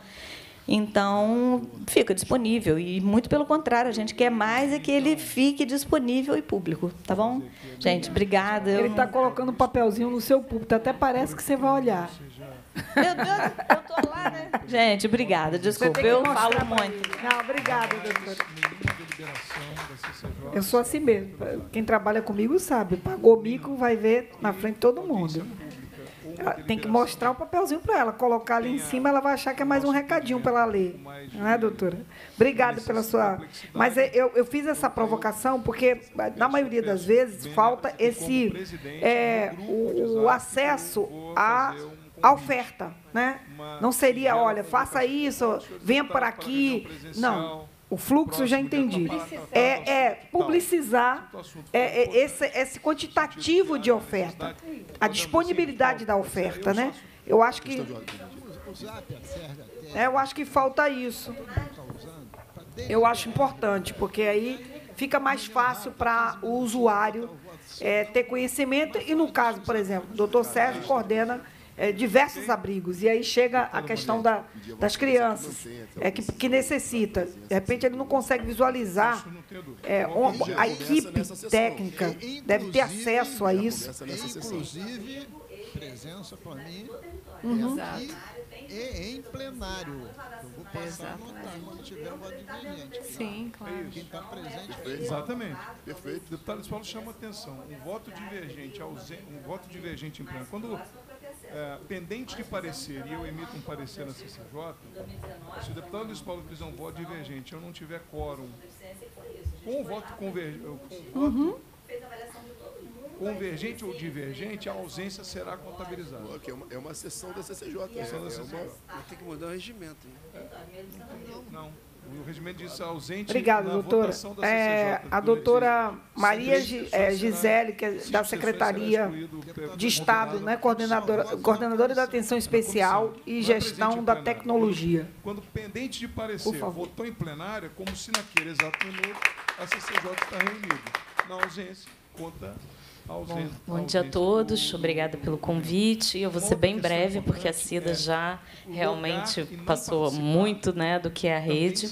Mas, assim, um ponto que eu gostaria de, de falar, né, até comentei com a Rosane, falar um pouco do- da, da estrutura da rede né, no Estado, que é que a gente tem publicado isso através de uma deliberação CIB. Então, a estrutura da rede. Bom, primeiro que a rede é muito nova no Estado, é, na verdade, uma política nacional que é de 2012, que é a rede de cuidados à pessoa com deficiência. Essa rede é, vem acontecendo desde então. Eu me considero assim uma pessoa que nasceu com a rede na Secretaria de Saúde, porque quando eu cheguei lá ela estava iniciando. Então nós pegamos a rede lá daquele daquele primeiro momento. Esse primeiro momento foi construído a partir dessa política com grupos regionais de trabalho, pessoas da área. Então, esses grupos eles são é, estruturados a partir da, das regiões de saúde, das nossas nove regiões de saúde, e nós temos um grupo estadual que também participa dessa discussão. Então, nós começamos de poucos serviços no Estado, né? hoje a rede já tem de física, auditiva, intelectual e visual. É, e nós hoje temos em torno de 20 serviços no Estado, né? assim, pegando amplamente. É, todos com recurso federal, de custeio, né? para manter a unidade, custeios que são passados fundo a fundo ao município. Também o, a questão do o teto MAC, né? o teto de alta e média complexidade, para cada uma dessas modalidades. E também os recursos de incentivo para ampliação da rede com obras, né? construção, ampliação, reforma. Temos quatro oficinas ortopédicas no estado. Muito bem, esses serviços eles são pactuados, né? E nós temos uma deliberação CIB que é a 6262 de setembro de 2020, que é pública. Vocês podem acessar no Google e lá nós temos o panorama de todos os serviços do estado. Ali está né, enfim, a oferta, né? E ela é separada por modalidades. Bom, e aí a questão desse trabalho, ele é um trabalho contínuo, né, árduo, porque, é, inclusive, a equipe é pequena, né? no Estado nós temos alguns técnicos, e isso demanda de alguma especialidade realmente, né, de entendimento, para que isso possa crescer. É, o acesso dos centros é regulado, como a Cida já disse, então, em geral, no Estado, os, os pacientes eles acessam a rede pela atenção primária à saúde, né? que é a ordenadora da rede e coordenadora do cuidado. Ele vai entrar por ali, onde deve ser identificado todas essas necessidades.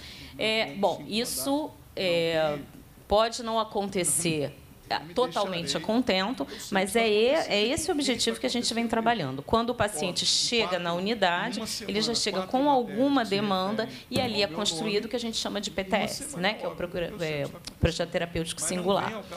É, os serviços eles não estão num nível de igualdade, de, com a mesma capacidade instalada, mas é por isso que a gente trabalha para que a coisa né, tome um outro, um outro formato. Porque quando eu estava ouvindo assim, não, porque não tem a, a oferta e aí não tem um recurso. E aí eu fiquei um pouco incomodada, porque, na verdade, existe, mas é um trabalho que vem sendo construído, a, a, não é a largo, largo tempo. Né? 2012 para cá, a gente teve essa boa evolução. Uma outra no, boa notícia que a doutora todo é, tipo ai, meu Deus. do Hospital Federal, da doutora Sandra, estava é, falando da questão da sedação. É Nós trabalhamos também com, as rede, com a rede de odonto, né? ela está lá com a gente também como um ponto de atenção da pessoa com deficiência. E é, nós temos uma, uma deliberação também, que é a 6251, de setembro de 2020, que de, é, faz a demonstra a rede, né, inclusive com a questão da sedação.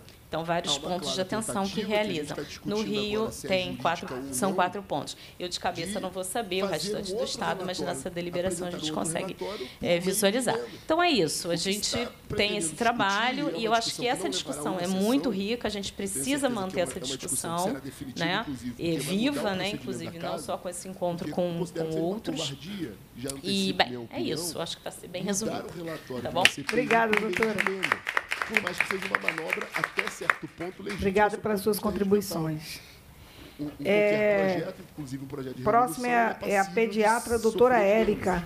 Agora, não pode ser Ela está aí? daquilo que ah, sim. com o deputado doutora Érica. Agora, que mude é, integralmente o teor do é médica, então, é, de vistas, médica paciente especial, ativista das mães de criança com síndrome de Down. Isso. Obrigada, doutora. Obrigada você. E é tão vergonhoso. Chamar de você, porque eu não gosto que me chame de senhora, não. É, pode chamar de você. Eu agradeço. É, a jovialidade. Bom dia a todos. Meu nome é Erika Coelho, como a tia Ju já falou. Prazer em estar falando para todos vocês nesse dia. É, é, interessante que a mesa citou alguns pontos que eu gostaria de falar em relação, pelo menos, à a, a cor. Né? Quanto mais o que a gente demonstra do lado de fora é o que a gente tem do lado de dentro. Então a gente tenta ficar um pouco mais colorida possível, que é para que a gente desmistifique aquele padrão do médico, do sério, do, do, do, do jaleco que com isso a gente consegue humanizar mais esse atendimento. E segunda, que estou muito feliz e muito grata, sou filha do Cardoso Fontes, eu fiz residência lá de pediatria, fiz terapia intensiva lá em Barra Mansa na Pro Baby também, fiz residência lá. E tudo começou na minha vida quando eu me tornei mãe, né?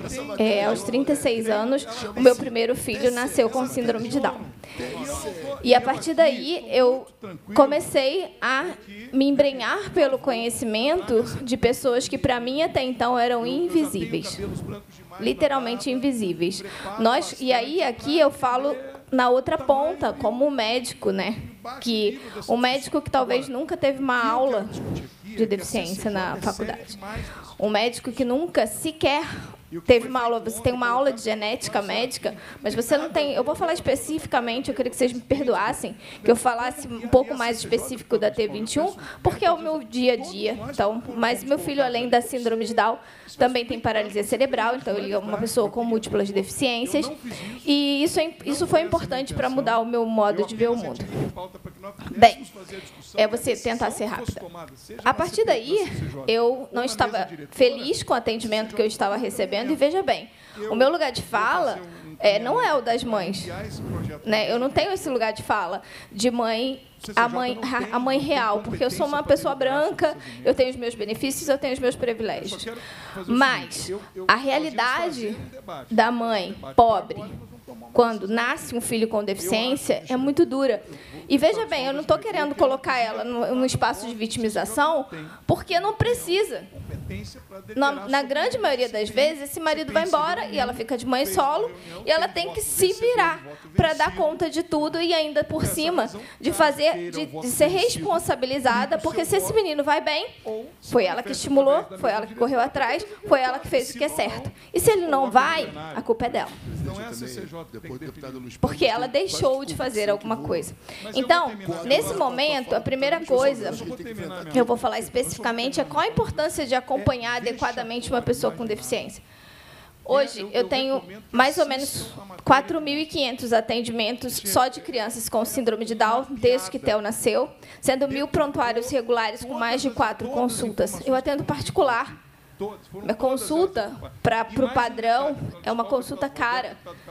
É um atendimento especializado, é um atendimento diferenciado, mas isso não chega no, na, na realidade da população. Mas eu quero mostrar para vocês rapidamente qual é a importância de acompanhar adequadamente essa pessoa.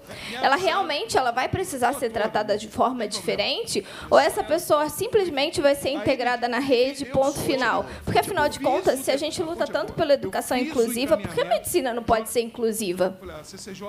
Então, deixo esse ponto de interrogação a vocês. Mas a partir do momento que a gente também cobra da escola que ela seja capacitada para ela trabalhar com inclusão inclusão, será que esse médico lá na UBS, lá na ponta, ele está preparado, está treinado para reconhecer pelo menos um atraso no neurodesenvolvimento? Porque ele não reconhece. E aí, tudo aquilo que a gente prega de estimulação precoce, de mudar prognóstico de indivíduo, de rápido correr atrás de terapia, vai por terra, porque o garoto, ninguém notou que ele está com atraso no neurodesenvolvimento. E quando a mãe nota, na grande maioria das vezes, ela é ignorada. Então, além do diagnóstico de TEA, por exemplo, ser protelado por falta desse médico especialista, mas se a gente treinasse eu aprendi que quando eu venho com uma problemática, eu tenho que ter uma solução, mesmo que a solução não seja ideal. Mas eu tenho esse, essa premissa. Mas as, eu vejo o seguinte: se, a, se aquele médico lá da UBS fosse treinado para isso, não é tão difícil assim. Será que a gente não consegue colocar na cabeça desse pediatra ou desse médico de família o que, que ele tem que fazer para ele reconhecer e, a partir daí, ele fazer esse direcionamento adequado e detalhe, às vezes ele não precisa, é o que vocês falaram aqui várias vezes, ele não precisa direcionar para lado nenhum. Ele mesmo pode resolver, porque nem sempre vai ser psiquiátrico e terapêutico, às vezes é médico, é pediátrico. Às vezes o que o menino tem é um, um, uma alteração de comportamento porque ele tem uma inflamação intestinal crônica, porque ele tem alergia alimentar crônica, porque ele tem desnutrição crônica. Ele tem deficiência de ferro e ele não dorme. Ele, e, e por aí eu ficaria horas falando aqui para vocês. Ele tem dor de dente. Ele tem uma desnutrição porque ele tem sensibilidade intraoral por causa de refluxo crônico. E isso, esse pediatra, ele deveria saber reconhecer. Entendeu? Então, a nossa pergunta é: a, tem um quadrinho que a gente sempre coloca, que eu gosto muito de falar, que é a realidade, a, a igualdade, a equidade e a justiça. Eu quero equidade para as nossas crianças. Equidade é quando a gente dá mais atenção para quem precisa de mais atenção. Então, vamos parar um pouco. Eu sei que todo mundo precisa de atenção, mas por motivos específicos, as crianças com deficiência, com múltiplas deficiências, e a deficiência não escolhe cor, não escolhe raça, não escolhe religião, e ela não escolhe classe social. Então, que a gente pense que essa equidade precisa, essa atenção especial precisa ser dada pelo pediatra local. E qual vai ser o impacto geral da precocidade do segmento terapêutico correto, individualizado?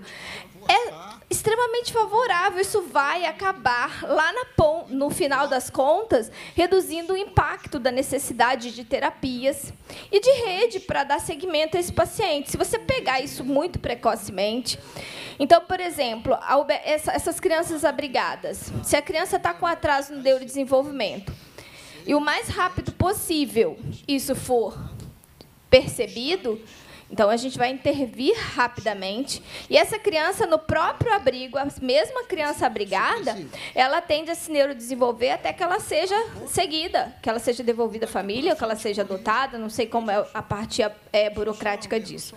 Então, minha pergunta é: os pediatras da Unidade Básica de Saúde do PSF conhecem a trissomia do 21? Eles reconhecem as demandas de uma criança com atraso no desenvolvimento? E quando reconhece, quais as providências que são tomadas? Para onde essa criança tem que ir? Essa criança, até que ponto tem um nutricionista na rede? Porque criança com síndrome de Down, com autismo, ela tem muita demanda nutricional, muita demanda específica, e a gente precisa de um nutricionista. Conhece as demandas demandas imunológicas, por exemplo, porque nem sempre esse indivíduo. Vocês perceberam que no Covid as pessoas com síndrome de Down estavam entre as primeiras a serem vacinadas, porque eles são imunodeficientes. E aí, mas é, você acha que ele ficou imunodeficiente só quando ficou grandão? Não, ele é imunodeficiente desde que nasceu. E por que, que ele não tem esse segmento de imunologista? Mas não, to, não são todos. Então, quem antes de encaminhar todo mundo para o imunologista, sobrecarregar o imunologista, o pediatra da UBS deveria saber fazer esses exames básicos, ter acesso porque às vezes a unidade básica de saúde nem tem acesso a esses exames. Deficiência de GA, deficiência de GG, específicos. Eu estou sendo muito específico, estou tentando reduzir. Beleza. Bem, esse guia básico, ele já existe.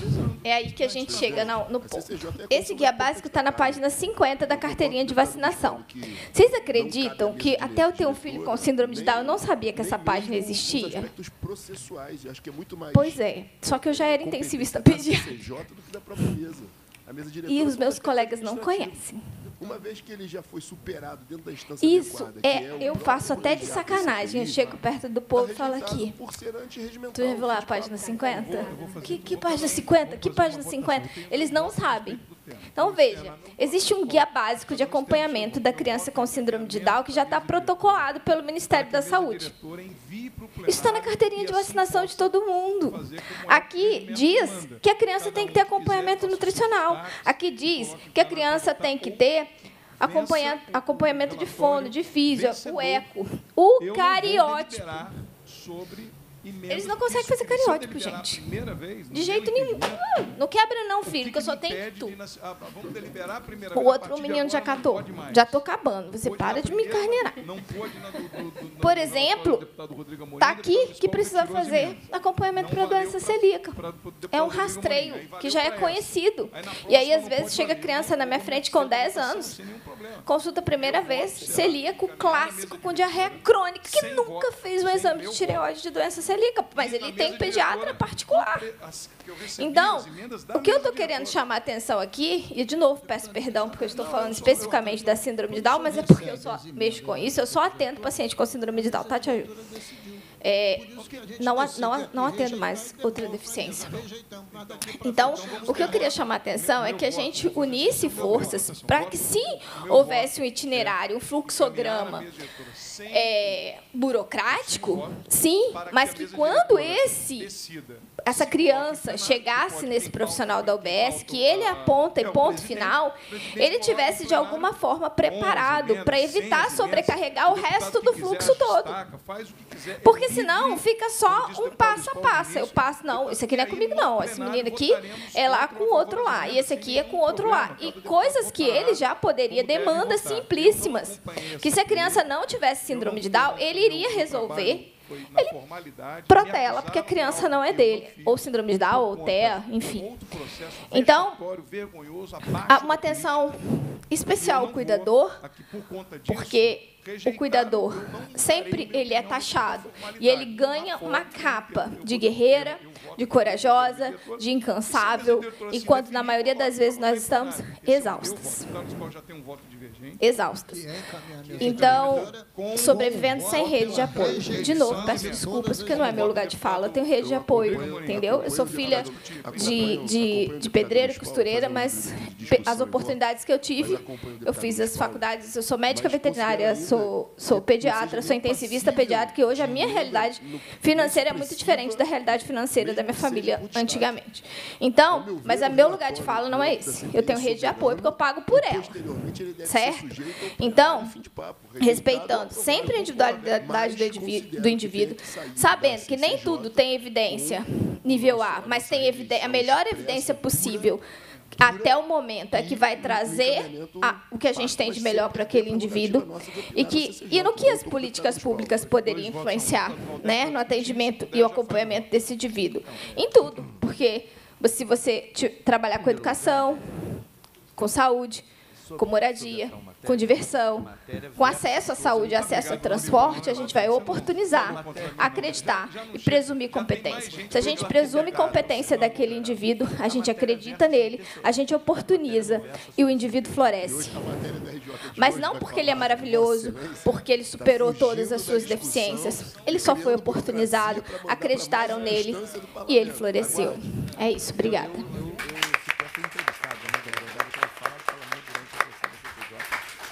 Obrigada, assim, doutora é sobre esse tema. Érica, que colocaram aqui primeiro pediatra. Amei sua blusinha aí, tá? Gostei demais. Tipo o colorido. É... A Comissão Parlamentar de Inquérito é uma das principais. Eu estava olhando aqui, era o doutor Sérgio mandando mensagem, mas eu achei que era da audiência, não, é outra coisa que a gente está é, encaminhando. Eu gostaria de abrir agora também, é, eu ia fazer um comentário da, da doutora Érica, que mesmo aqui, é, o tempo inteiro você falou aqui não é meu lugar de fala, mas como você é mãe e é mãe de uma criança com síndrome de Down, acaba, não tem como não falar. Né? É difícil não falar, porque é uma realidade vivida no seu cotidiano. Não tem como não falar. Mesmo caso meu, quando falo de adoção. Aí tem pontos que eu, eu pincelo, porque eu sou mãe por adoção. Eu não só milito na adoção, mas a adoção do filho veio depois de muitos anos de militância, tá, gente? Não veio a adoção e depois a militância. Foi muitos anos de militância. Mas aí tem coisas que a gente não consegue não pontuar, porque uma adoção tardia, obrigada, doutor Zambuja. O meu filho foi uma adoção tardia, que é adoção, as adoções que a gente chama de adoção necessárias. Porque a maioria das crianças que estão nos nossos abrigos, elas não estão em fila alguma e elas não têm expectativa nem mesmo de ser adotado. Meu filho foi adotado aos nove anos. Né? Então a gente acaba não, não, não tem como a gente não falar como mãe também, né? Vai tem aprofundar a investigação. Ah, falar nisso domingo é dia das mães. Parabéns a todas as mamães. As mães que né, gestam no, no ventre, as mães é, que gestam no coração. É, abri aqui a fala para uma mãe, que é a Cláudia Valente, que é mãe do filho, da filha com Didal também, com síndrome de Down. Por favor, ao Dona Cláudia. E é depois aprovar tem o doutor ou Nélio também, que já se inscreveu para na falar. minha opinião. É importante a fala das mães, né, aqui como Das próprias emendas. usuárias da, dessa rede que tão necessária. Olha só, é, quando eu e o André pensamos em começar essa, essa, essas falas, né, essas, essa luta, na verdade, a gente vem reproduzindo uma, uma questão que já é antiga para a gente desde que Isabelle nasceu. Na verdade, para mim, eu, conhe- eu comecei a conviver com criança especial quando eu tinha 10 anos de idade, quando a minha mãe começou a trabalhar na APAI. Então, ela começou a trabalhar na APAI. As esco a escola onde eu trabalhava, a gente sempre tinha contato com eles, fazia festinha, ia lá e conversava e convivia. E eu me formei professora aos 18 anos e sempre comecei a trabalhar com crianças especiais. Mas quando Isabelle nasceu, veja bem, Isabelle nasceu numa gestação normal, todos os exames normais, em nenhum momento houve assim nenhuma nenhuma suspeita de que Isabelle pudesse nascer com síndrome de Down. engano. Ela, nós só soubemos que ela tinha síndrome de Down no momento do nascimento, dando licença nucal, tudo normal, tudo normal.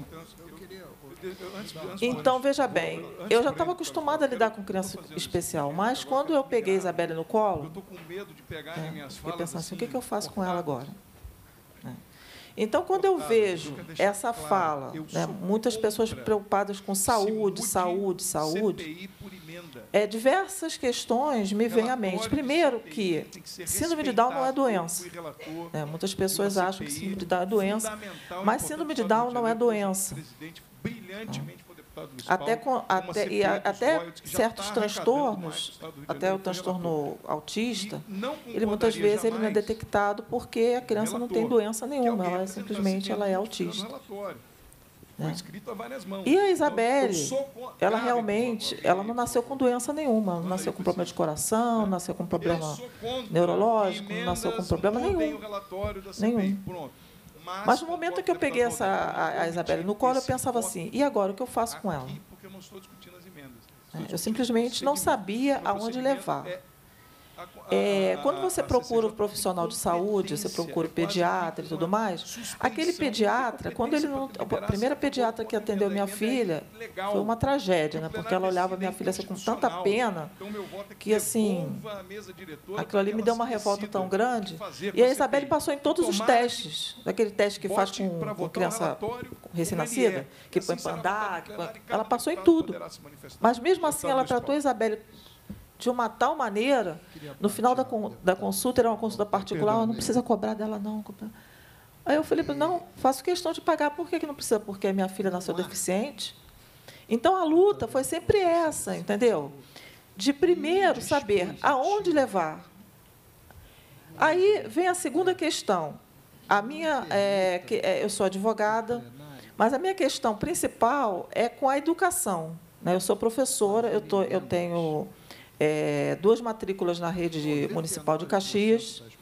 Caxias é um município que é, tem uma rede é, até interessante de educação. Né? Toda escola, a maioria das escolas, tem é, um serviço de sala de recursos, em que a criança é atendida duas vezes por semana, 50 minutos, que é o atendimento padrão.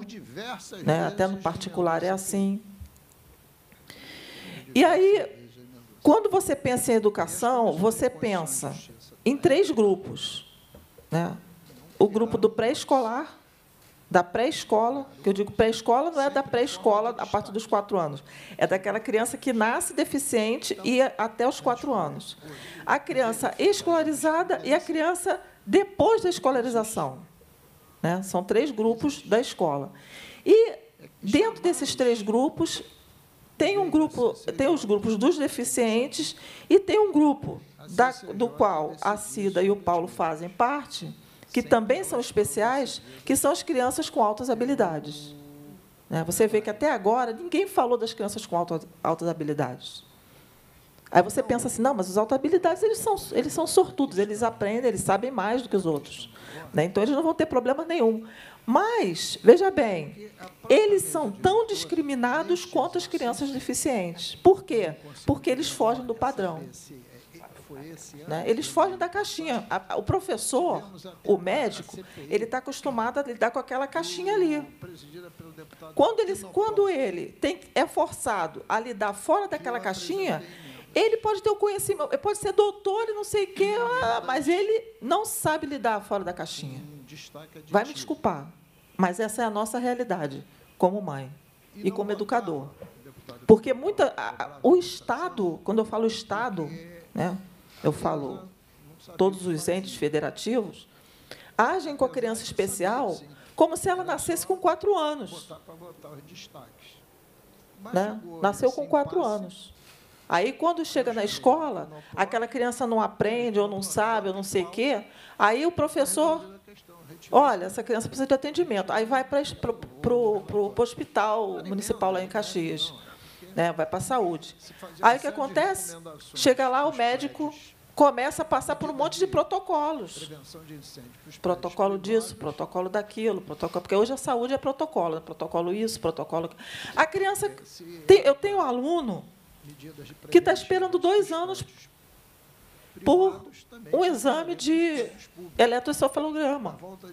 Ah, e quando eu tive que levar minha filha no serviço do Fernando Figueira, que eu pensei assim, né? a pessoa falou assim, ó, você leva ela, ela tem que estar com para não ter que usar é, anestesia, ela tem que estar com sono, ela tem que dormir e tal. Aí deixei ela dormiu tarde, acordou cedo. E agora, como é que eu vou fazer para isso? Vai ter uma fila enorme lá. Quando eu cheguei, só tinha duas pessoas para serem atendidas. Cadê meu aluno? Que precisa? Por que ele não tem acesso? Sabe por que ele não tem acesso? Porque ele não pode chegar direto onde tem o atendimento. Porque primeiro ele tem que passar por um monte de protocolos, por profissionais que não entendem do que estão fazendo. Vai me desculpar, tá? Eu estou sendo muito sincera. Não entendem o que está fazendo. Tá? Porque foi o profissional dentro de um posto de saúde, dentro da clínica de família, que passou um remédio errado para minha filha que teve convulsão. Mas eu acho que eu não sabia aí da Que passou a ter convulsão, que, que eu tive que, le- que procurar uma outra coisa para poder. no meu gabinete. Né, três, quatro anos tomando um remédio por causa de um remédio errado. CPI da pizzaria. Entendeu? Então, isso é, um- é muito grave, isso. Mas nesse caso Sabe? É muito grave. Uma criança não nasce com quatro anos, não, gente. uma decisão de devolver Um professor, ele tem que ser treinado para trabalhar com a criança especial. O médico, ele tem que ser treinado para criança especial. Quando eu vejo a fala de muitos aqui, eu percebo que talvez seja uma questão de logística. Então, a gente tem que arrumar essa logística, sabe? Em questão a criança de alta habilidade, ela tem que ser incluída no sistema de cotas. Porque quando você chega num CAP da UERJ, no, no Pedro II, no CAP da UFRJ, escolas de ponta, aqui. ele não tem acesso a isso como pelo sistema de cota. E, e para você ter acesso ao sistema de cota, você não precisa, você não, não basta ser você ter um filho deficiente. Você tem que ser miserável. Da CCJ, Porque para você ser incluído, você tem que ter menos de 250 reais por pessoa da família. de CPI. Aí você, Então, você entra no CAP da UERJ, no CAP da UFRJ, estou até com um livro aí de professor de matemática, especialistas, com mestrado, com doutorado, mas não tem público. Cadê o público? Não, não tem público para ele? Às vezes se esgota determinada Sabe? Então, se me deixarem de falar, eu vou ficar falando aqui por uma série de questões. Então, E outra, outro público que também não foi citado. Aquela, aquele, aquele adulto que não conseguiu ser alfabetizado. Não o tem mais lugar para ele ir. Não existe mais institutos, lugares de convivência, centro de convivência para os adultos, para os adolescentes. Eu estou com um aluno de 18 anos que a diretora queria mandar para o noturno, mas ele não consegue andar sozinho. Ele não consegue ir para o noturno, ele não consegue nem aprender a escrever o nome. Para onde ele vai? Ele vai para frente da televisão, entendeu? Ficar jogando videogame do jeito dele, porque ele, também não entende a regra do videogame, então ele fica lá só apertando o botão. É isso que acontece. Né? E para aquelas crianças que estão na rede particular, que chegam no final do segundo ano, do terceiro ano do segundo grau, todos os colegas vão para o para a faculdade. Várias emendas, porque aí elabora-se o mérito. Aí ele não tem para onde ir, porque não aprendeu a ler. O, análise de mérito. Porque os professores lá que estão lá na escola dele estão passando ele de ano, porque a lei diz que ele tem que passar de ano, ele passa de ano. Mas ele não aprendeu a ler. Aí ele vai para casa. Sabe o que, ele faz? Entra em depressão. Porque ele foi enganado. Disseram para ele que ele estava incluído na escola. Mas ele não estava. Entendeu? Ele só estava lá ocupando uma cadeira. Então, isso é uma coisa é, que renderia muita discussão, entendeu? A gente precisa é, democratizar isso. A gente precisa é, oportunizar, porque se tem vaga no, pedia, no, no, psiquiatra, então esse psiquiatra, eu tenho que chegar assim, ó, ó, no, no, ó seu filho nasceu assim, assim, assado, tem, tem o diagnóstico aqui, então já vou lá. Mas não, primeiro ele tem que passar por uma série de coisas para poder chegar. E o tempo para uma criança, um segundo para uma criança é muito importante. Para a criança especial é muito mais. Muito mais. Tá? Então, isso é desesperador. Tá? É, é, me desculpe o tom de desabafo, mas eu é, é não poderia deixar de falar essas coisas, tá? porque às vezes ele fala assim, ah, tem muito, tem muito, tem muito, então vamos, vamos trabalhar aí, porque não está chegando para o público-alvo, não. Não está chegando para o público-alvo. Quando você pensa no município do Rio de Janeiro, é, é uma coisa. Baixada Fluminense, entendeu? interior de Estado. Tá? Aqui, o tempo esgotado, tem que parar de falar. Obrigada, obrigada, mãe. Esse é meu único Não tem que pedir desculpa pelo desabafo aqui, é o seu local de fala. Agora era o lugar de fala da mãe, né, doutora Érica? É, o doutor, o doutor Nélio está ali se agonizando né, para falar, mas o doutor Nélio fala muito. Mas eu, tem cinco minutos. Ah, entendi. Vai, me engana que eu gosto. Bem rapidinho, porque tem aqui o componente da mesa que está com horário eu vou, eu vou, eu primeiro de tudo, ufa, quantas falas legais, quantas, quantas reflexões. Mas a minha fala é importante porque eu penso que são quatro anos de prefeitura, um ano, dois anos de Estado e um ano na, na gestão do, do Instituto Nacional de Propriedade Industrial. Então, quando a gente de fora observa esse gigante que é o Estado, a gente sabe, a gente pensa sempre que ele é inoperante. A gente sempre tem as nossas reclamações do Estado. E durante todo esse tempo que eu estou trabalhando no Estado, eu tenho encontrado pessoas relevantes que, de fato, estão operando para o melhor da população. Eu sou fã da Prefeitura do Rio de Janeiro.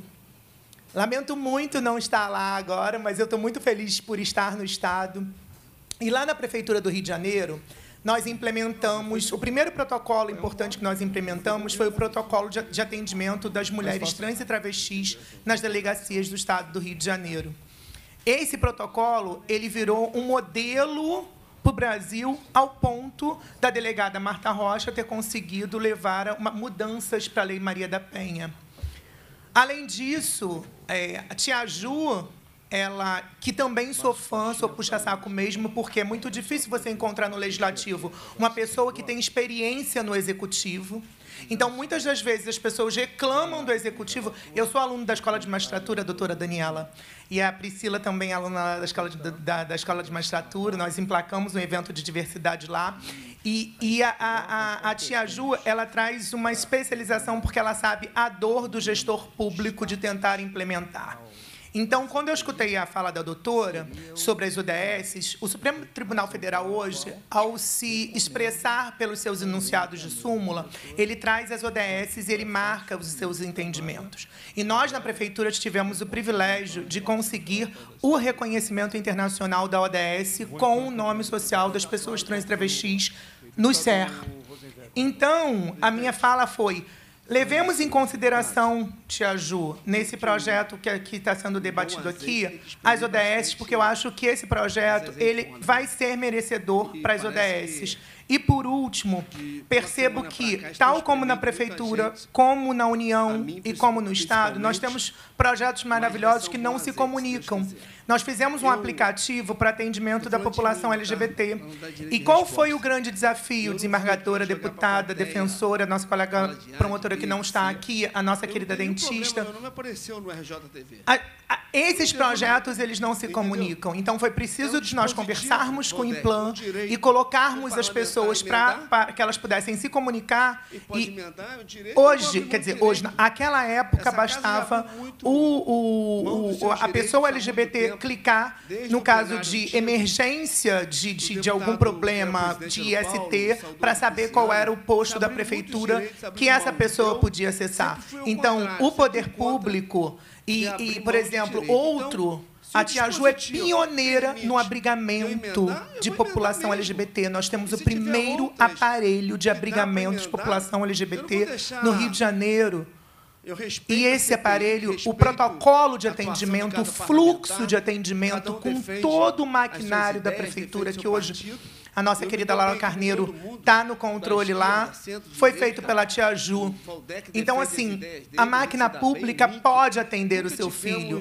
Às vezes, a gente não consegue, então, como a sua fala foi muito forte, não chega até a ponta. Agora mesmo eu estava falando com um menino LGBT, e eu boto é, LGBT porque é tudo muito fluido, então eu não quero impor uma identidade de uma pessoa. E eu gostei muito da fala da mãe anterior, que, tipo assim, o meu lugar de fala, e eu também não estou no seu lugar de fala, mãe, para poder falar, mas é, é duro para quem está no poder público escutar uma mãe dizendo que não chega até a ponta. Mas é possível fazer. E eu acredito piamente, Tia Ju, que o comando desse trabalho com essas pessoas do judiciário.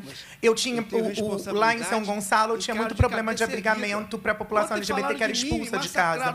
Então, a, o magistrado de lá a gente fez um, um simples grupo no, no, no, no WhatsApp para poder ajudar esse fluxo. Então, são práticas, às vezes, que são simples, que não são colocadas para a população, mas as pessoas estão trabalhando. E, então, Tia Ju, é, acho que todos nós aqui confiamos na sua liderança desse trabalho. O seu protocolo de atendimento, de abrigamento na pandemia foi algo sensacional. E eu posso falar porque eu venho da educação, eu sou mestre, agora estou numa disciplina de doutorado de Direito e Saúde Saúde lá na UF. A gente está organizando agora um evento de direitos humanos. Sou da Comissão de Direitos Humanos do IAB. Então, assim, é, é, muito bom escutar todas essas pessoas falando e é muito bom ter a sua liderança com o Judiciário, com a Defensoria e com o Ministério Público. Tia Ju implementou na, na Secretaria já do Estado a cartilha junto conosco de atendimento da direção prateada. Essa cartilha era simplesmente botar todas as pessoas do Estado para conversar, para atender a população 50 mais. Então, assim, estamos na sua nas suas mãos. Essas pessoas que estão aqui, eu quis marcar essa fala, porque a Tia Ju não falou, talvez por tímida, mas, assim, a Tia Ju tem uma experiência nesse trabalho. A prefeitura, para a gente, os meus quatro anos lá na prefeitura representaram muito na minha vida e na vida da Tia Ju, porque a gente deu a mão, porque nós pegamos o pior período da pandemia para implementar os protocolos. Então, eu fico muito emocionado, porque quando eu recebi o convite para vir aqui, que eu tinha que deixar essa fala. Eu, eu, eu fiquei muito emocionado com a mãe que falou, não chega até a ponta. Aí a, a doutora falou, tem psiquiatra. E a gente está aqui e diz assim, meu Deus, mas e aí? Tem um psiquiatra, a pessoa está precisando de psiquiatra.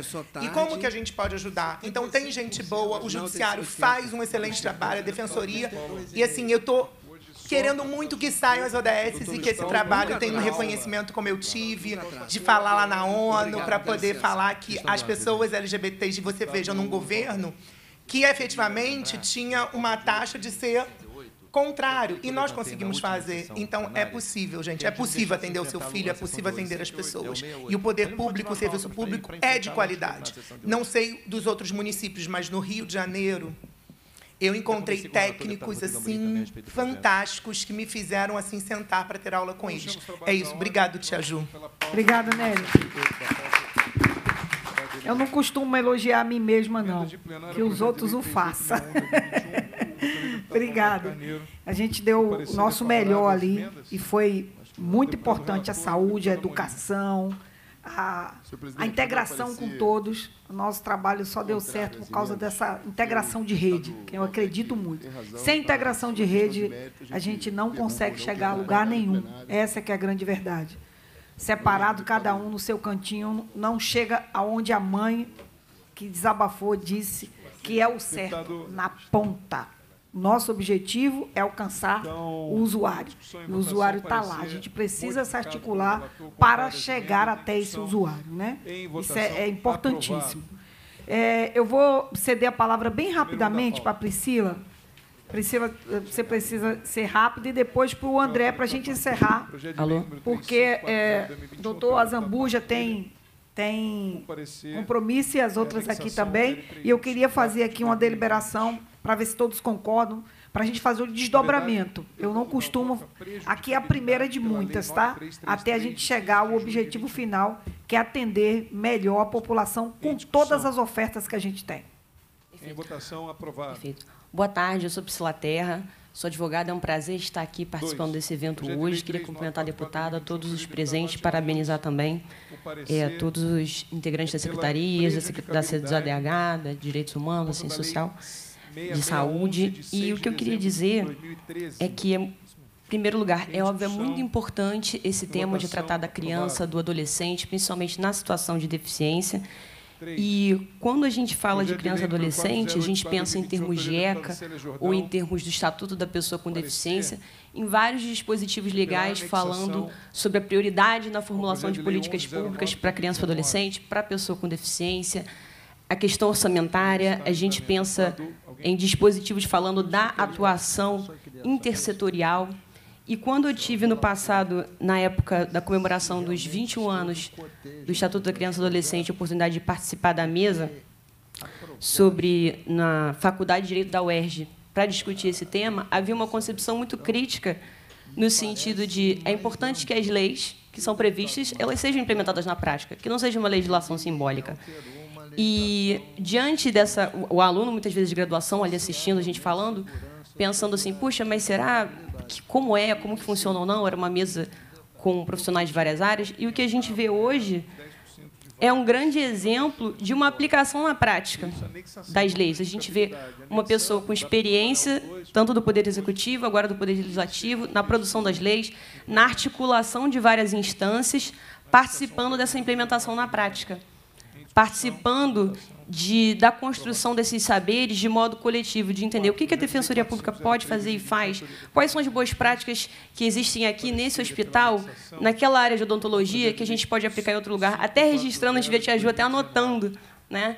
para pensar depois, poxa, o que eu posso fazer agora diante disso, como a gente pode ampliar como a gente pode melhorar. Então, como advogada, como aluna da escola de magistratura, como cidadã, é uma, é uma alegria estar aqui. E hoje a gente vê várias é, atuações intersetoriais. A gente vê, por exemplo, o Alerta PRI, para encontrar, para o alerta, o aplicativo sobre o Alerta PRI em, diante de crianças desaparecidas promovido tanto pela área de segurança quanto pela sede do ADH. Então, a gente vê essas iniciativas acontecendo. Então, é, a minha fala no sentido de agradecer, procurando ser breve também. Muito obrigada a todos os envolvidos.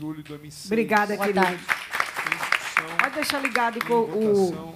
Vamos encerrar a fala com a fala do, do André, para a gente fazer aqui um breve encaminhamento. Meus amigos, obrigado pela presença de vocês. É, meus amigos, obrigado pelo convite, pela oportunidade que sempre nos dão e sempre com essas portas abertas aqui para nos receber com tanta atenção e carinho.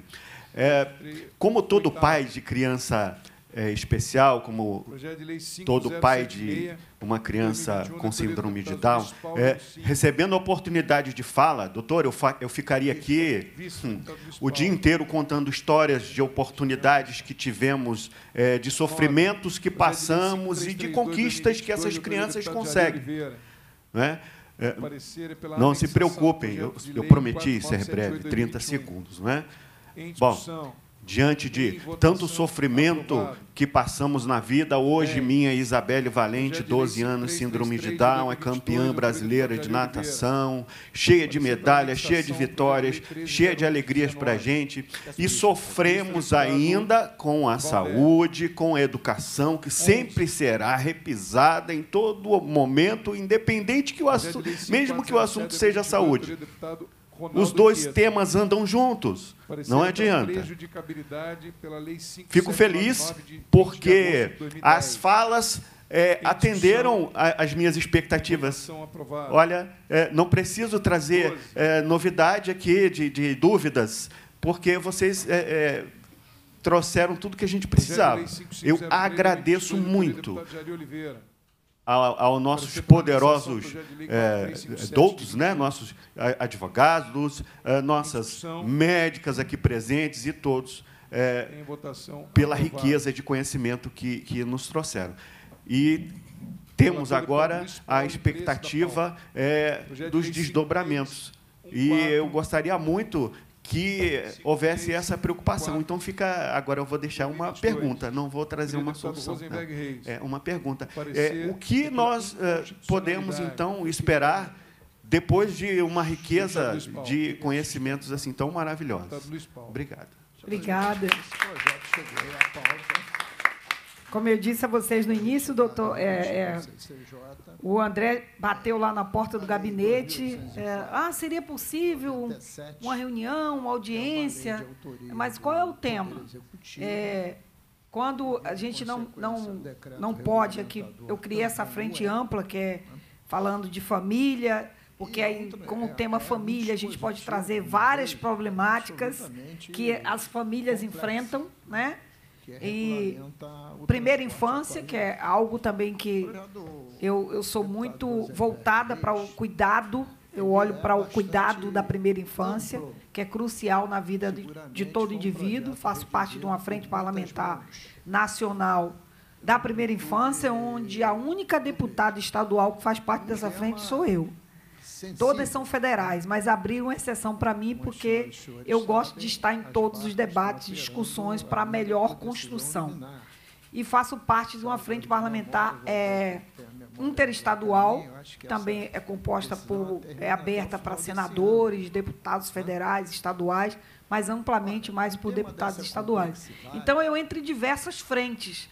E às vezes as pessoas me perguntam, doutor Zambujo, como é que a senhora dá conta? Eu preciso dar conta porque a demanda é muito grande e são poucas as pessoas. Como eu sou evangélica, tem uma passagem na Bíblia que fala, não vou pregar aqui para vocês não, tá, gente? É só para frisar, que a seara é enorme, mas são poucos os trabalhadores. E é assim que eu vejo no legislativo, quando se trata das demandas da população né, das demandas populares. Há muita gente eh, militando em algumas questões, educação amplamente, segurança pública amplamente e outras áreas amplamente. Mas quando trata da questão da infância e adolescência, é micromente. É quase invisível. Pouca gente demais. Então eu preciso me desdobrar muito mais para dar conta das demandas que chegam. Então, não chegam para mim só demandas a nível estadual, doutoras e, e doutoras médicas, a nível federal. E eu, geralmente, eu não espero por nenhum federal. Eu pego minha pastinha, boto debaixo do braço e vou para Brasília, sim. E bato na porta dos ministérios, e bato na Assembleia Legislativa, na, na, na Câmara, na Câmara é, nas comissões, nos debates de comissão. E aí a gente trabalha e trabalha muito, mas o resultado é sempre muito bom, porque a gente traz uma produção legislativa rica e que é possível ser efetivada, que não vai ficar só no papel. Ela foi estudada e olhada por vários âmbitos e conversado com diversos atores para que ela saia robusta e possa, de fato, ser efetivada. Né? Eu já cutuquei o doutor aqui, que tem um, uma lei que está em andamento, e eu vou precisar falar com ele rapidinho sobre, porque a gente não adianta só produzir leis. Eu tenho alterado muitas leis, mas produzido leis a quatro mãos, com a participação da sociedade civil, é, com a participação é, de entes é, é públicos e com a participação do governo, dos municípios, dos gestores, e a gente consegue encontrar soluções execuíveis. A minha passagem pelo executivo foi muito bom porque a gente no olhar do legislativo a gente tem muito anseio, mas a gente hoje eu já busco através desses anseios a efetividade, o que é possível, o que é cabível e possível se fazer e por que que não se faz, o que é que falta, onde a gente pode buscar apoio para que isso realmente é, seja executado, né? E não caia no judiciário com tanta judicialização, porque é muita judicialização é, por falta de é, equidade mesmo, de conversa, de, de envolvimento de atores, né? para que a coisa faça acontecer. Então, a pergunta do, do, do André, que é, é militante, é pai, o que fazer com todas essas informações, eu anotei várias coisas aqui que é possível a gente começar a caminhar. Vai precisar de discussões, é, não só em reuniões assim, mas muito mais aqui com, com os, os participantes, porque é o que eu falei, a gente vai ter que buscar aí, é, através do diálogo, e aí eu vou estar sempre provocando, ainda que por uma mensagem, olha, nós construímos isso aqui. Não vou criar grupo de trabalho, GTs, porque eu acho que acaba criando GTs e não sai nada. Porque as pessoas entram em vários grupos e não tem encaminhamentos. Eu prefiro a gente ir criando e eu passando para todos. Olha, cada um vai dando sua contribuição, seu apontamento. Eu acho que dessa forma que eu tenho feito, os resultados têm sido bem melhores, né? Para a gente poder fazer encaminhamentos. É. Depois a gente pode até partir para a criação de um grupo, enfim. Mas eu acho que assim a gente acaba caminhando melhor. As dúvidas da saúde no município, eu vou encaminhar para a doutora para a gente fazer a construção do Estado, que eu tenho muito acesso. O secretário de Saúde ele é maravilhoso no sentido. também é outro que eu tenho que elogiar aqui, porque não tem dia, não tem hora que eu acesse ou que busque por ele, ele também me atende. O do município, que era o Soranze, agora ele se, ele se licenciou, também não tenho queixas no sentido de acesso. Todas as vezes que eu mando uma mensagem, que eu busco, secretário de Educação, eu, eu bato na porta de todo mundo, tá, gente? Quando não me atende, eu uso a força do microfone e, e, o, e, a força que eu tenho para dizer, secretário, me atenda, que a minha população está precisando, o povo do meu estado precisa e eu preciso que você me atenda. Então, ele, se ele não me atender de uma maneira, vai me atender de outra, porque eu vou usar a tribuna. Os meninos da TV Alerj sabem, né? Até para diminuir um pouquinho da aumentar a temperatura do ar condicionado, eu uso a tribuna. É que a gente às vezes a gente fica congelando lá no plenário. E aí eu tenho que falar, gente, pelo amor de Deus, aqui está parecendo vou trazer um esqui para dar uma esquiada. Eu brinco com os meninos. Então, aqui, eu acho que o primeiro é, e grande passo aqui da gente é foi batido nessa, nessa tecla, que é a criação de um protocolo.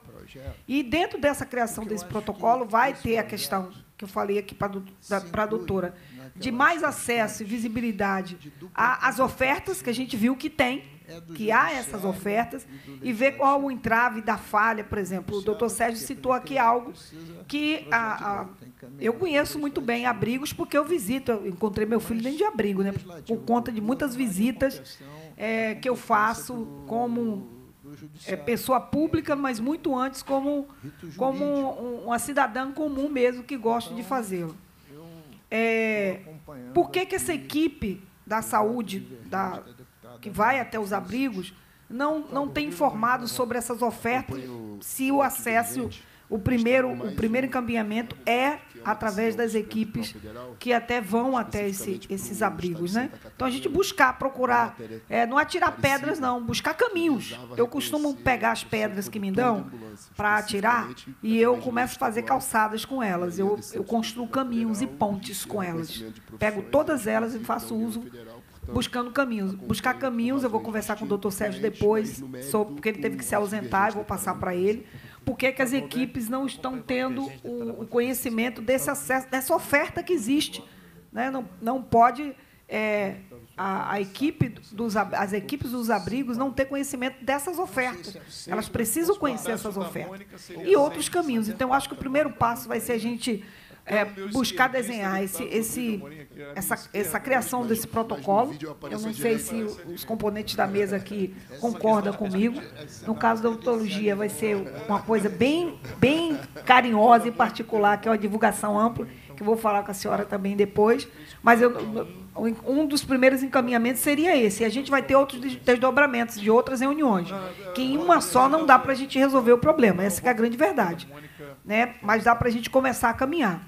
Algu alguém quer colocar alguma coisa, ou seria primeiramente isso mesmo? Um acesso, né? buscar de que maneira essa divulgação melhor desses acessos e é, a criação desse protocolo de um fluxo de atendimento que fique mais visível para que a, a população na ponta, que a mãezinha trouxe aí como mãe educadora de um aluno, a dor do aluno não está sendo atendido e tem oferta, né? Se não tem oferta, onde está o entrave para esse aluno ser atendido, né? Inclusive eu quero mediar sobre isso depois com a senhora, Não, exatamente. Aqui é Estado. Por isso que está aqui a, a- a saúde do Estado, educação. Isso. Aí vou dizer mais, vou dizer assim, ó, já estou imaginando a matéria. Mas a gente está pensando em nível de Estado. Não é nível só de município.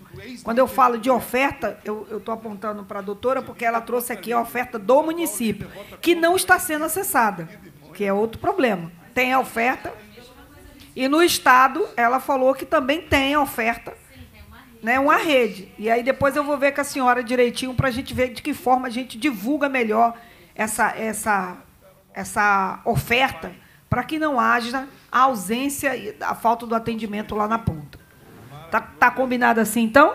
Eu vou estar sempre, eu vou estar passando um WhatsApp para todas e para todos aqui, que a defensoria também vai me ajudar nisso, para que a gente possa dar um encaminhamento. E eu acredito que a partir daqui a gente vai ter sucessos. Obrigada à, à, à pediatra e à mãe também, que trouxe esse olhar. E outra coisa que não foi citada aqui, mas que a gente que tem a ver com a criança e adolescente, sim, é a sobre a saúde mental dessas mães. É um ponto crucial. E tem pais também, tá? Que tem é um, é um quantitativo pequeno, mas tem pais que a mãe abandonou assim, não, não quis, foi embora, e o pai é que cuida. É um número muito pequeno. É o maior de, de mães, de, de mulheres. Mas a gente precisa pensar enquanto rede de apoio apoio. Inclusive, se eu não me engano, Ana me faça lembrar, eu acho que eu tenho um projeto nesse sentido de eh, durante o atendimento da criança, a mãe também, se eu não me engano, eu tenho. Eu- me falha a memória, ou a gente está rascunhando. A mãe ter esse amparo da saúde mental.